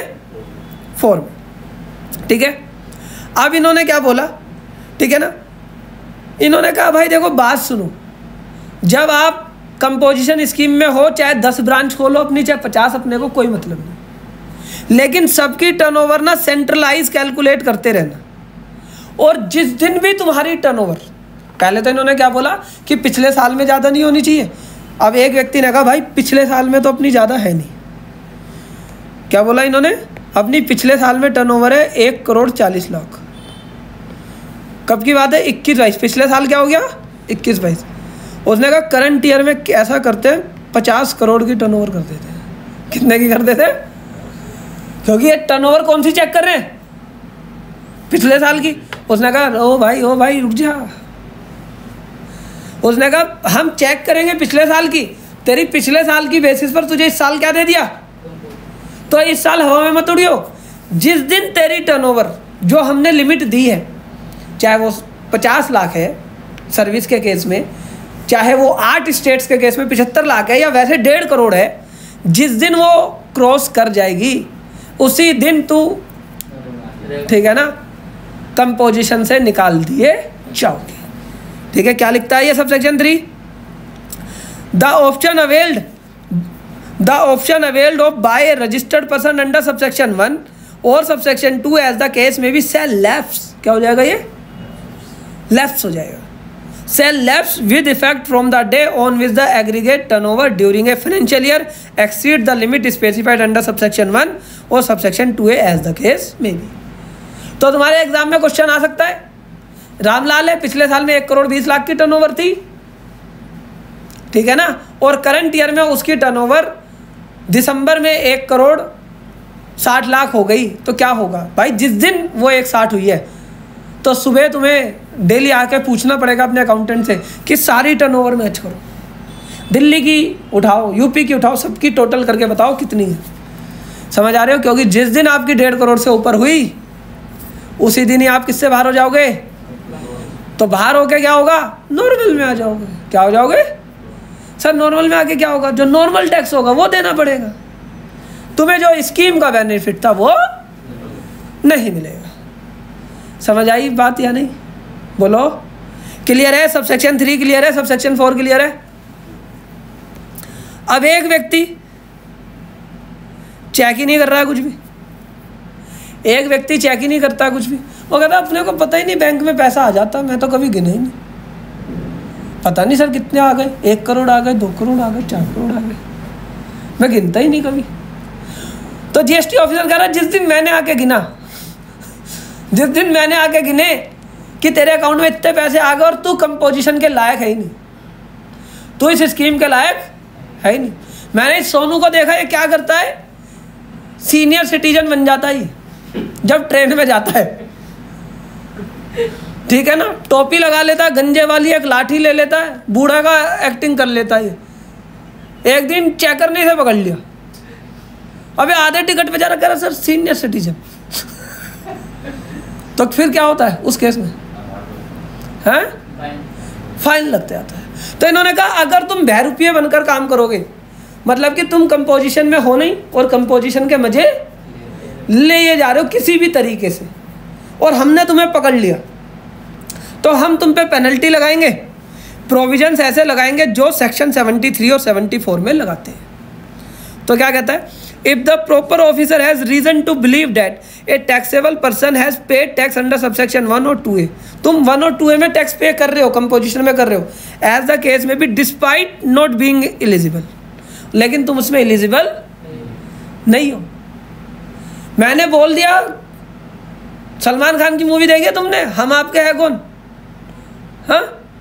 उसमें क्या था कि जहाँ पे लड़कियाँ डांस कर रही होती थी, सलमान खान की एंट्री नहीं थी वहाँ पे लड़कों की। तो वो बेस बदल के चला जाता है।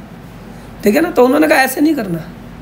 तुम इलिजिबल हो ही नहीं तो तुम यहाँ पर आना ही मत, नहीं तो पिटाई होगी समझ आ रहे हो? तो ध्यान से, कहीं भी, कभी पब्लिक पैलेस में हो वॉशरूम भी जाना, पहले देख लिया करो, लड़की, लड़का। ठीक है? जो लड़के वाले, उसमें जो मैं तो देख के जाता हूँ। कई बार तो दिखाई नहीं देता, वो पुराना हो रहा होता है। कि यार, ये इसके बाल कैसे?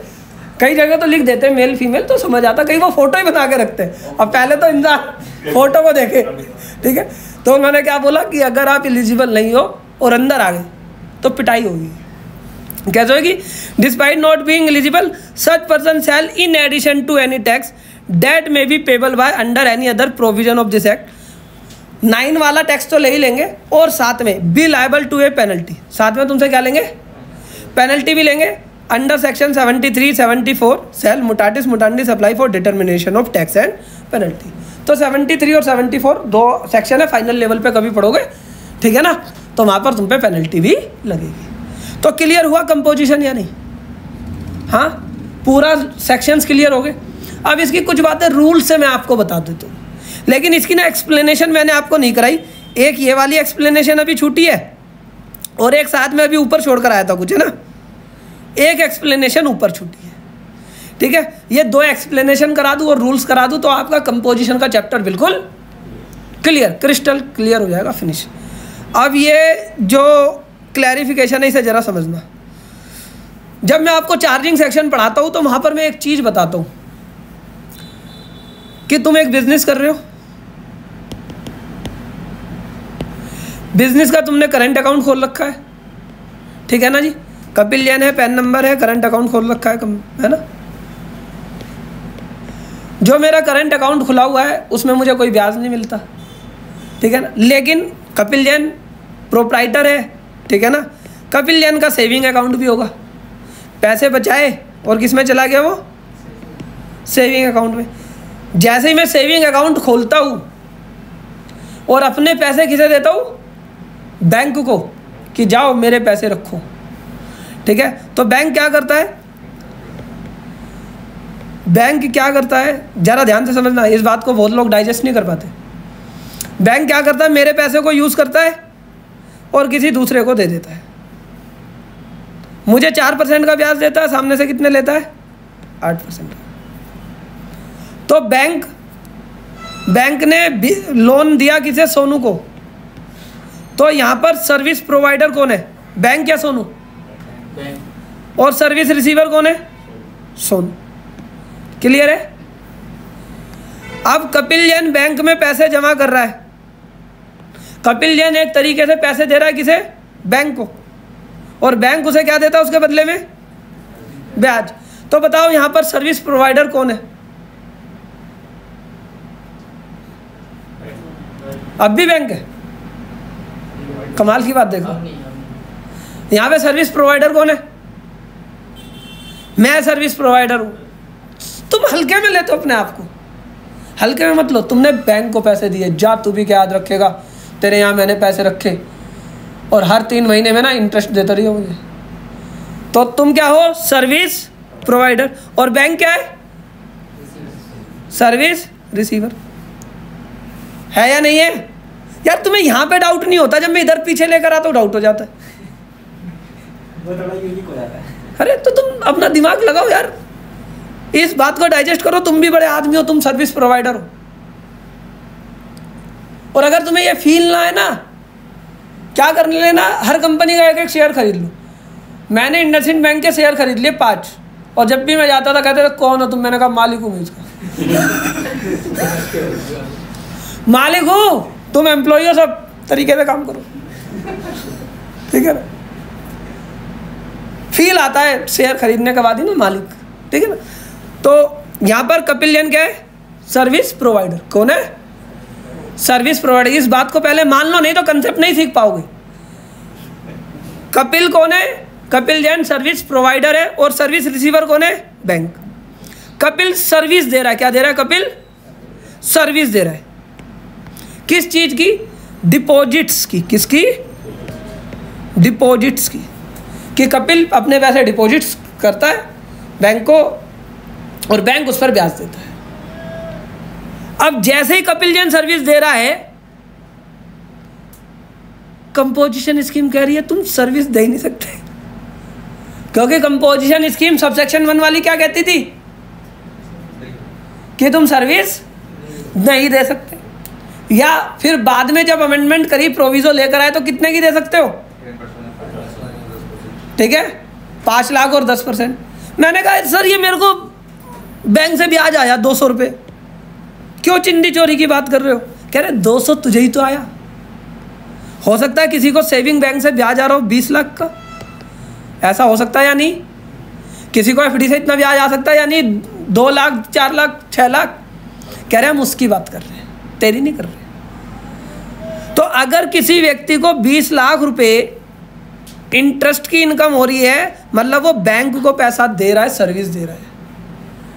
तो कह रहा, सर, बीस लाख तो मेरी यही हो गई टर्नओवर तो गवर्नमेंट ने कहा कि ये एक टर्नओवर है, लेकिन हम इसे कैलकुलेशन में इंक्लूड नहीं करेंगे। तो क्या डाली एक्सप्लेनेशन पढ़ो अब जरा इस एक्सप्लेनेशन को, जो मैं तुम्हें पढ़ाना चाह रहा हूँ। For the purpose of second proviso for the purpose of second proviso second proviso कौन सा हमारा है? ठीक है, ये जो पाँच लाख वाली कैलकुलेशन चल रही है the value of exempt supply of service provided by way of extending deposit क्योंकि जो हम बैंक को सर्विस दे रहे होते हैं ना, ये एग्ज़ाम होती है। क्या होती है? एग्ज़ाम इंटरेस्ट वाली सर्विस क्या है? एग्ज़ाम है। जब आप एग्जामेशन का चैप्टर पढ़ोगे तो वहाँ पे क्लियर होगा कि बैंक को अगर आप बैंक आपको ब्याज दे रहा है तो वो एग्जाम्ट है। बैंक ब्याज ले रहा है, वो भी एग्जाम्ट है। तो इन्होंने बोला for the purpose of second proviso the value of exempt supply of service provided by way of extending deposits loan और advance in so far as a consideration is represented by way of interest जहाँ पर consideration तुम्हें किसमें मिल रहा है?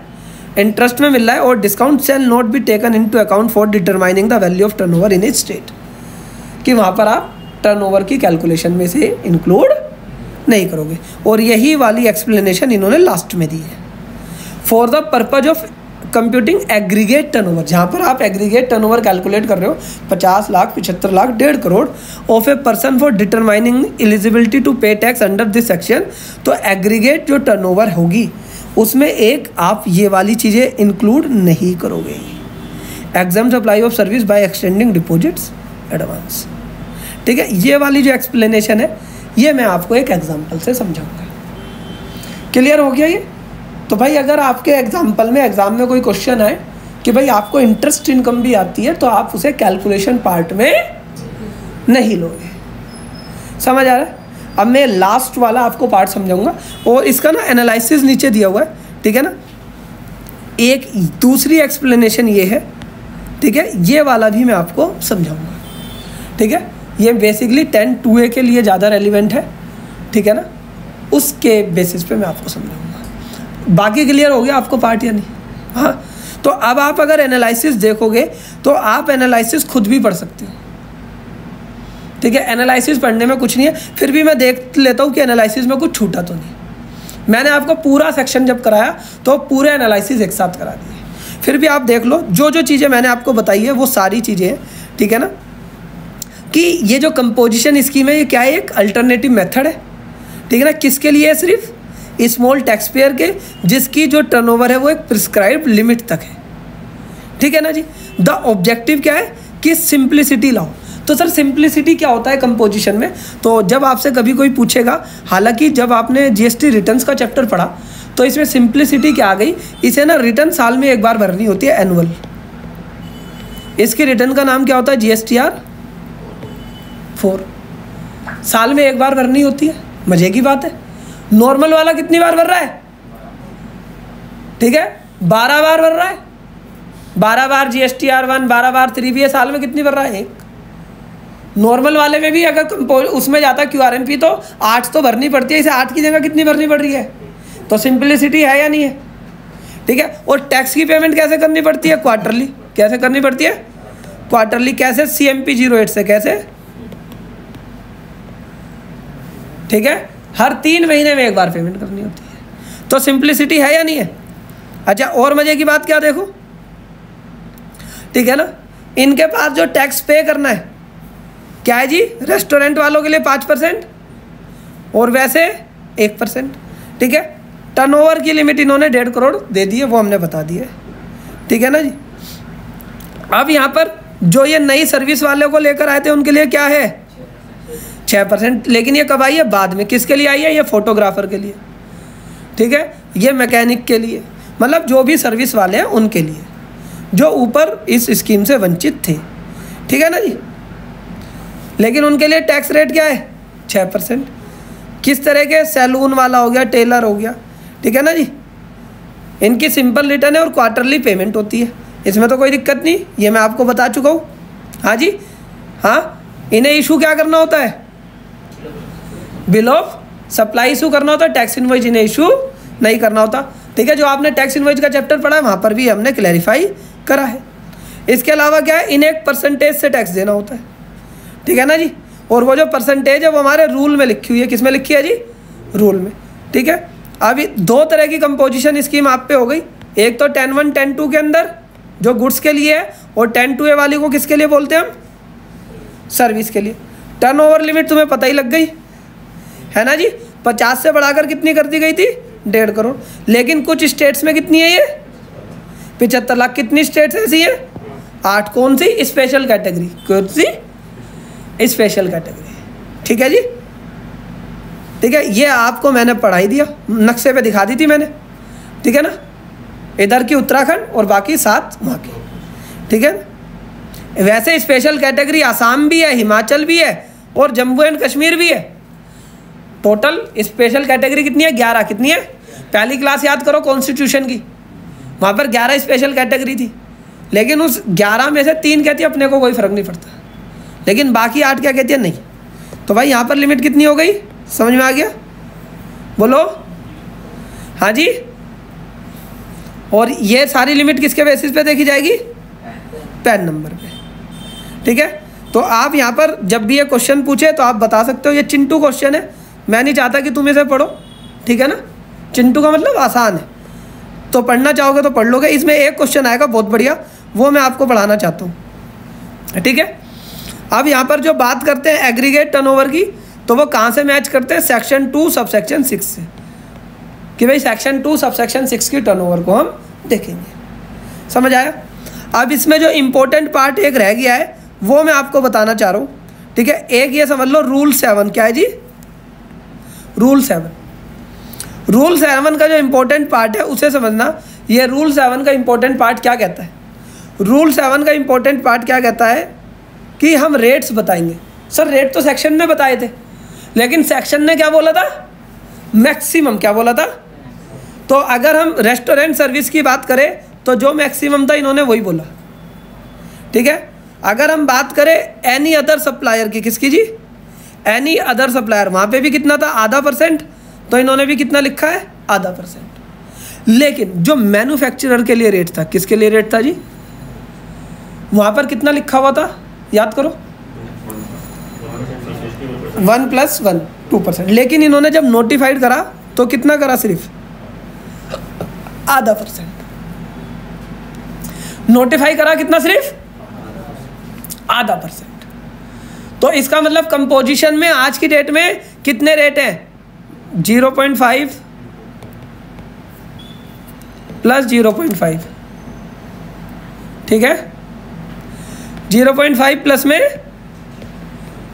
चाहे traders हो, चाहे मैन्युफैक्चरर्स हो। दूसरा रेट क्या है भाई?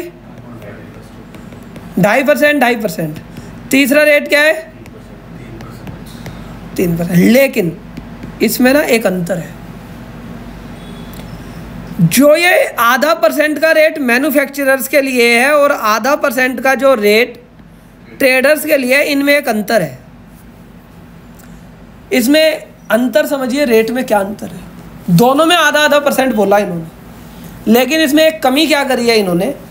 ये जब कहता है कि अगर मैन्युफैक्चरर होगा किसी भी आइटम का तो वो जो आधा परसेंट देगा, वो टर्नओवर का देगा। किसका देगा? लेकिन जो ट्रेडर होगा, वो आधा परसेंट देगा टैक्सेबल सप्लाई का। सर दोनों में अंतर क्या हो गया? भाई, यहाँ पर इस चीज़ को समझ लो। अगर आप मैन्युफैक्चरर हो तो किसका दोगे? टर्नओवर का। अब मान लो एक मैन्युफैक्चरर ऐसा है जो दो गुड्स बनाता है एक टैक्सेबल और एक एग्जेंट ये चालीस लाख के बनाता है ये सत्तर लाख के बनाता है। तो टोटल टर्नओवर कितनी हो गई? तो इसे जो वन परसेंट देना किसका देना है? एक दस का। जबकि इसमें टैक्स रेट क्या है? ज़ीरो लेकिन फिर भी इसे क्योंकि ये कंपोजिशन के मज़े ले रहा है और ये मैन्युफैक्चरर है तो इसे दंडित किया जा रहा है। और अगर इसी की जगह पर ट्रेडर होता, कौन होता जी? ट्रेडर होता। तो वो किसका देता सिर्फ़? तो ये इंपॉर्टेंट है, यहाँ पर आपको कंफ्यूज करके क्वेश्चन एग्ज़ाम में आ सकता है। समझ आ गई ये वाली कहानी है नहीं? बोलो। ठीक है? तो यहाँ पर एक एग्ज़ाम्पल दिया। तो ट्रेडर के केस में एग्ज़ाम टर्नओवर पर जीएसटी नहीं आता। ठीक है जी? उसके बाद छः परसेंट का रेट क्लियर है प्रोफेशनल्स के लिए मतलब सर्विस वालों के लिए। ठीक है जी? ये इंपॉर्टेंट है। ये इंपॉर्टेंट एग्जांपल है जो मैं आपको समझाना चाह रहा हूँ। ठीक है? एक फोटोग्राफर है, चंपक। ये चंपक फोटोग्राफर है, समझना। जब ये टेन टू ए की स्कीम आई तो इसे लेकर बड़ा दिक्कत हुई। दिक्कत क्या है कि इन्होंने क्या बोला कि पिछले साल टर्नओवर कितनी नहीं होनी चाहिए? पचास लाख से ऊपर नहीं होनी चाहिए। तो हम मानकर चल रहे हैं, जो ये चंपक है, इसकी फाइनेंशियल ईयर 21 बाईस में। टर्नओवर कितनी थी? तीस लाख थी। अब हो सकता है कि चंपक नया बिजनेसमैन भी हो। जब इसकी टर्नओवर तीस लाख थी, या और सिंपल कर देता हूँ मैं तुम्हारे लिए एग्जांपल थोड़ा सा। तीस लाख नहीं लेते, इसे ले लेते हैं। पंद्रह लाख ले लेते हैं। कितनी ले लेते क्योंकि तीस लाख अगर हो जाती तो फिर तो इसे रजिस्ट्रेशन कराना पड़ता ना, क्योंकि सर्विस के लिए लिमिट कितनी है? बोलो। बीस लाख है ना? तो हम मानकर चल रहे या तो इसकी टर्नओवर पंद्रह लाख है, या इसने बिज़नेस ही कब से स्टार्ट करा? एक अप्रैल 2022 से। ठीक है? अब ये बिज़नेस अपना स्टार्ट कर रहा है। ठीक है? अब जब ये अपना बिज़नेस स्टार्ट कर रहा है तो ये कह रहा है, भाई साहब, मैं बिज़नेस स्टार्ट कर रहा हूँ, मुझे सलाह दो। मैंने कहा, देखो भाई, बीस लाख तक तो तुम्हें कोई जीएसटी लेना ही है। उसने कहा यार, बात तो सही कर रहे तो ये एक अप्रैल से काम करता रहा करता रहा करता रहा। एक अप्रैल से काम करता रहा करता रहा। और जून तक आकर, तीस जून तक आकर, इसकी टर्नओवर कितनी हो गई? बीस लाख। मैंने कहा, भाई, तुम्हें रजिस्ट्रेशन लेने की अभी ज़रूरत नहीं है। वो कह रहा, भाई साहब, बीस लाख हो गई। मैंने कहा, अब तुम लाइबल हो गए रजिस्ट्रेशन के लिए। उसने कहा, ठीक है, अब मैं लाइबल तो हो गया रजिस्ट्रेशन के लिए, अब मैं रजिस्ट्रेशन ले लेता हूँ, क्योंकि मैं सर्विस वाला हूँ। मैंने कहा अब किसमें लोगे? कह रहा, यार कंपोजिशन में ले लेता हूँ। किसमें ले लेता हूँ? कौन सी कंपोजिशन टेन, टू ए वाली उसने कहा, क्या मैं एलिजिबल हूँ? मैंने कहा हाँ एलिजिबल हूँ। पिछले साल भी पचास लाख से ज़्यादा नहीं है। तो इसने यहाँ पर कंपोजिशन ले ली। अब कंपोजिशन लेके एक काम करने लगा और इसने जो काम करा, जुलाई, अगस्त, सितंबर में तीस सितंबर तक इसका काम कितने का हो गया? तीस लाख का। अब पहला क्वेश्चन ये है कि जब इसका काम ये टोटल हो गया यहाँ तक पचास लाख और एक जुलाई से तीस सितंबर तक काम कितना हुआ है? तीस लाख। अब तीस सितंबर को, क्योंकि इसे क्या करना होता है? क्वार्टरली पेमेंट करनी होती है। तो अब ये तीस सितंबर में खड़ा है और अट्ठारह अक्टूबर को इसे टैक्स पे करना है C M P zero eight वो कितने अमाउंट पे करेगा? पचास लाख पे या तीस लाख पे?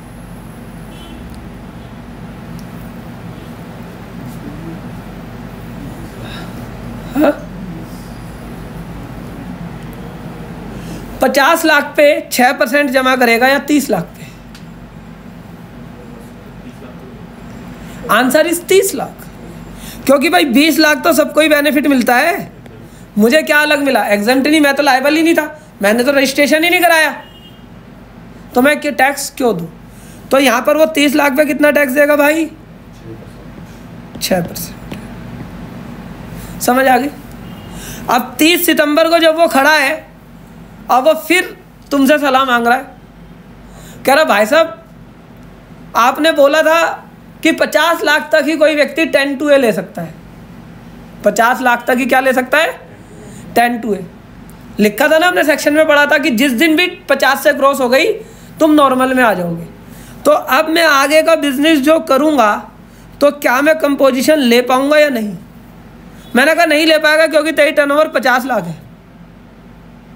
कह रहा, भाई साहब प्रीसीडिंग देखो, मैं ना प्रीसीडिंग तो देखते ही हैं, साथ में करंट की भी तो देखते हैं.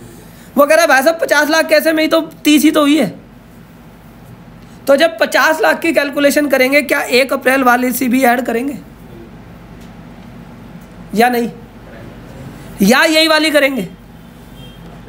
क्यों टैक्स देते समय तो तुमने यही वाली करी थी?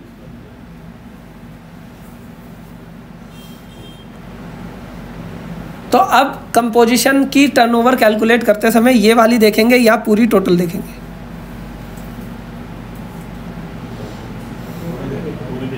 तो यहाँ पर पूरी देखेंगे। यहाँ पर क्या देखेंगे? और एक अक्टूबर से उसे क्या आ जाएगा? नॉर्मल स्कीम क्या आ जाएगा? तो जो मैं दो एक्सप्लेनेशन आपको छुड़वा कर आया हूँ, यही दो एक्सप्लेनेशन आपको यहाँ पर पढ़नी है। क्या कहता है? Explanation one for the purpose of computing aggregate turnover of a person for determining his eligibility क्या डिटरमाइन कर रहे हैं हम उसकी?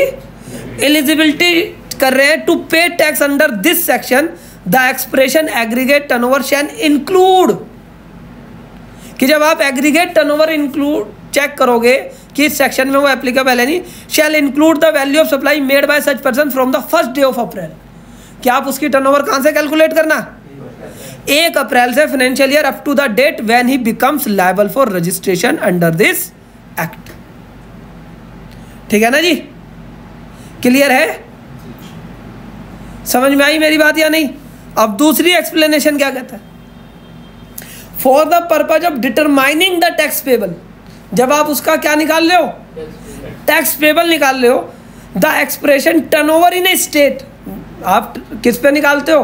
स्टेट की टर्नओवर पे निकालते हो ना तो कहता है the expression turnover in state और टर्नओवर सेल नॉट इंक्लूड कौन कौन सी चीज़ें इंक्लूड नहीं करेगा?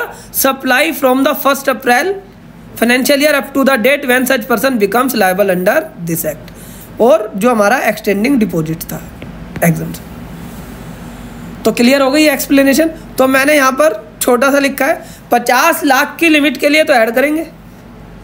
और टैक्स लेने के लिए बीस लाख ऐड नहीं करेंगे। नट सेल में इन एक्सप्लेनेशन का ये पर्पस है। समझ आया भाई या नहीं आया?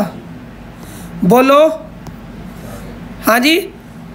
तो मैंने आपको जो रेट था वो भी बता दिया। इसमें ना रूल्स और भी हैं। ठीक है? भाई ये टेन टू और टेन टू ए में मैंने आपको अंतर बता दिया था। तो लगभग वही सारी चीज़ें तो कौन कौन से आइटम ऐसी है जो रेस्ट्रिक्टेड है? तो आइसक्रीम रेस्ट्रिक्टेड है। पान मसाला रेस्ट्रिक्टेड है, तंबाकू रेस्ट्रिक्टेड है, और ये। क्लियर है? बोलो जी। कोई दिक्कत यहाँ पर? हाँ? बोलो। तो यहाँ पर लिखा हुआ है कि इंटर स्टेट परचेज कर सकता है इनवर्ड सप्लाई ले सकता है, लेकिन आउटवर्ड नहीं दे सकता। ठीक है? तो मैंने लगभग आपको ये पाँच लाख वाली लिमिट भी चेक करा दी थी। अच्छे से एक्सप्लेन करा दिया पाँच लाख और ten percent whichever is higher दोबारा कराने की नीड है क्या? इसका एग्ज़ाम्पल इन्होंने दिया हुआ है। अगर आप देखना चाहें तो वो चीज़ देख लेना आप, ठीक है ना? जो मैंने आपको रेस्ट्रिक्शंस बताई हैं, वो सारी की सारी रेस्ट्रिक्शंस मैं आपको पढ़ा चुका हूँ। ठीक है? आइसक्रीम पान मसाला ये वाले गुड्स अगर आप मैन्युफैक्चरर करते हो, क्या करते हो जी? ट्रेडिंग में कोई दिक्कत नहीं है लेकिन किसमें मैन्युफैक्चरर में। तो मैन्युफैक्चरर आप इस चीज़ को समझना कि मैन्युफैक्चर पर रेस्ट्रिक्शन है ट्रेडर पे नहीं। साथ में अगर उसके ऊपर कोई नाइन थ्री नाइन फोर का आरसीएम लग रहा है वो पे करेगा पर उसका आईटीसी नहीं लेगा। मतलब मैं प्रोविज़न स्टोर वाला हूँ मैंने ट्रांसपोर्टर की सर्विस ली मैंने एडवोकेट की सर्विस ली तो मुझे नाइन थ्री नाइन फोर में आरसीएम देना पड़ेगा बट उसका आईटीसी मैं नहीं लूँगा। दूसरी चीज़ क्या है?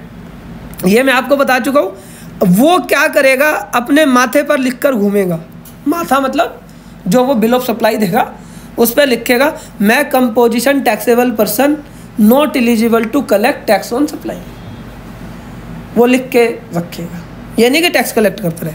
और जहाँ भी वो लिखेगा, अपना नाम साथ में लिखेगा, मैं हूँ कंपोजिशन टैक्सेबल पर्सन हर नोटिस पर, हर साइन बोर्ड पर ये चीज़ें वो डिस्प्ले करेगा। क्लियर है या नहीं है? बोलो जी, अब इसका जो है ये प्रोसीजरल पार्ट है, क्या है जी? प्रोसीजरल पार्ट है कि पोर्टल पे ये सारी चीज़ें कैसे होगी। तो जब भी कभी, ठीक है ना, मुझे कंपोजिशन स्कीम लेनी है, जब भी कभी मुझे क्या करना है? कंपोजिशन स्कीम लेनी है तो मैं पोर्टल को बताऊँगा कि मैं कंपोजिशन ले रहा हूँ। तो कंपोजिशन कब ली जाएगी? या तो भाई शुरुआत में जब रजिस्ट्रेशन ले रहे हो तो वहीं पे ऑप्शन आता है रजिस्ट्रेशन करते समय, क्या कंपोजिशन लेनी है उसे टिक कर देना, भाई मैं तो कंपोजिशन में जाऊँगा। तो तुम पहले ही दिन से किसमें आ जाओगे? कंपोजिशन में। लेकिन, अगर तुम्हारा चलते चलते मन बन जाए मतलब तुम अच्छे खासे नॉर्मल में हो, किसमें हो जी? अच्छे खासे किसमें हो? नॉर्मल में। अब वो कह रहे भाई, अब ना मैं कंपोजिशन लूँगा। कब? इसकी गर्लफ्रेंड का बर्थडे था। कब? कब था सोनू? तीस अक्टूबर को। तीस अक्टूबर को इसकी गर्लफ्रेंड का बर्थडे था इसने सोनू ने पूछा मांगो क्या मांगती हूँ? इसने कहा मैं ये मांगती हूँ कि तुम ठीक है ना? तुम तुम कंपोजिशन में आ जाओ। ठीक है ना? तुम किसमें आ जाओ? कंपोजिशन में आ जाओ। बस आज मेरी यही मांग पूरी कर दो। कहता है, ठीक है, मैं कल से कंपोजिशन में आ जाऊँगा। एक नवंबर से। ये गवर्नमेंट के पास गया। इसने कहा, साहब, मुझे किसमें आना है? कंपोजिशन में। उसने कहा, फुर्सत आज नहीं, इकतीस मार्च को आना। कब आना वो कहता है, एक तो कंपोजिशन में आएगा। गर्लफ्रेंड के कहने पे हमें नुकसान दे रहा है। और वो तो चाहता है, आज से ही हम तुझे कंपोजिशन दे दे। वो कहता है कि कंपोजिशन में आने के, ठीक है, रास्ते बहुत है, लेकिन जाने का रास्ता नहीं है। तो क्या कहता है ये? कि भाई, यहाँ पर इस बात को समझ लो, जब भी कोई व्यक्ति कंपोजिशन सोचेगा तो गवर्नमेंट का नुकसान हो रहा है। तो भाई, वो क्या करेगा? साल के शुरुआत में आएगा। किसमें आएगा जी? साल के शुरुआत में। तो एक अप्रैल से, हमेशा कब से आएगा वो? और इसकी इंटीमेशन हमारे को मार्च के महीने में ही दे देगा। इसकी इंटीमेशन कब दे देगा? मार्च के महीने में। ठीक है? तो a registered person who have to pay tax under scheme shall electronic file है इंटीमेशन ठीक है? Prior to the commencement of financial year which such option is excise तो बीच में नहीं जा सकते तुम। किसमें नहीं जा सकते भाई? बीच में नहीं जा सकते। क्लियर हुई है वाली बात? कि अगर आपको कंपोजिशन में जाना है तो आप बीच में नहीं जा सकते। साल भर के शुरुआत में जाओगे। फिर उसके बाद ऐसा भी तो होगा कि तुम्हारे पास आईटीसी होगा बहुत सारा। याद आ रहा है? सेक्शन 18 पढ़ाया था मैंने तुम्हें आईटीसी का। तुम्हारे पास आईटीसी होगा बहुत सारा, क्योंकि तुम नॉर्मल में थे। और अब किसमें जा रहे हो? तो क्या तुम्हें आईटीसी वापस नहीं करना पड़ेगा? बोलो यस तो आपको एक फॉर्म फ़ाइल करना पड़ेगा, जिसमें आप आईटीसी वापस करोगे। ठीक है ना? तो हम इनपुट टैक्स क्रेडिट के चैप्टर में उसे पढ़ाते हैं, लेकिन यहाँ से लिंक कर रहा हूँ। कि अगर आपको कंपोजिशन जाननी है, पहली बार साल के शुरुआत में जाओगे इंटीमेशन पहले दोगे, और जो हमारा आईटीसी है वो हमें वापस करके जाओगे। समझ आ गई ये वाली बात? ठीक है? तो आप कंपोजिशन कभी भी लेना, लेकिन मिलेगी आपको साल के शुरुआत से। लेकिन इसके उल्टा अगर कोई पूछने लगे तुमसे कि साहब मैं कंपोजिशन में हूँ नॉर्मल में जाना चाहता हूँ। जब तेरी इच्छा आ जाओ वेलकम बल्कि हम तुझे आईटीसी भी देंगे। स्पेशल आईटीसी देते हैं ना उसे सेक्शन 18 से। तो कंपोजिशन लेवी की वैलिडिटी क्या है? सबको पता है वैलिडिटी भाई, जिस दिन भी तुम्हारी टर्नओवर क्रॉस हो गई वैलिडिटी ख़त्म। ठीक है ना जी? क्लियर है? बोलो। यहाँ पर कोई दिक्कत हो तो? हाँ? तो मैंने आपको ये पूरा का पूरा कंपोजिशन स्कीम पूरा समझा दिया। इसमें किसी को कोई पॉइंट आउट हो तो मुझे बताना कि सर, बाकी इसमें एक बार इसे रीड कर लेना। हाँ इसमें एक इम्पोर्टेंट चीज़ और मैं आपको बता देना चाहता हूँ। इसमें क्या है कि ये वाला जो हम स्टडी मटेरियल पढ़ रहे हैं, ठीक है? इसके अंदर लिखा हुआ है कि भाई ये, ठीक है ना, मई तक के लिए एप्लीकेबल है। तो सर, नवंबर के लिए क्या है? तो नवंबर के लिए क्या है? इन्होंने क्या करते हैं सी इंस्टीट्यूट वाले? ये कहते हैं कि भाई, ये वाला स्टडी मटेरियल नवंबर 22 के लिए है। तो इसे भी आप पढ़ लेना। तो वो तो मैंने पढ़ा दिया तुम्हारे को, मई 22 वाला पूरा स्टडी मटेरियल नवंबर 22 में देख लेते हैं कंपोजिशन में क्या चेंज हुआ है। तो कंपोजिशन के अंदर क्या चेंज हुआ है? ठीक है? Manufacturer of fly ash bricks block ठीक है ना? Building bricks bricks of fossil meals this this this also ineligible to of composition मैंने क्या बोला था? कि ये क्या करते हैं? जो मैन्युफैक्चरर हैं, जिनसे इन्हें ज़्यादा नुकसान हो रहा होता है, जैसा किस पे हो रहा था? आइसक्रीम पे, तंबाकू पे। उन्होंने कहा, तुम कंपोजिशन नहीं लोगे। और अगर हमारा बस चला तो हम इसे क्या कर देंगे? बार बार नोटिफाइड करते रहेंगे कि इन गुड्स को। तो अभी जो भट्टे वाले थे, ईट भट्टे वाला सुना है ना नाम आपने? जो यूपी के उन्हें पता होगा यूपी बिहार में भट्टे होते हैं, दिल्ली में तो भट्टा देखा नहीं होगा। किसी ने देखा दिल्ली में भट्टा? हाँ? आई टी की बिल्डिंग को देख के भट्टा मत कह देना कि ये ऊँची बिल्डिंग है भट्टा है, ठीक है? हाँ? ऐसा नहीं होता भट्टा। भट्टा होता है जिसमें से ईंटें बनती है, ठीक है? तो वो यूपी बिहार में मिलेगी, ठीक है?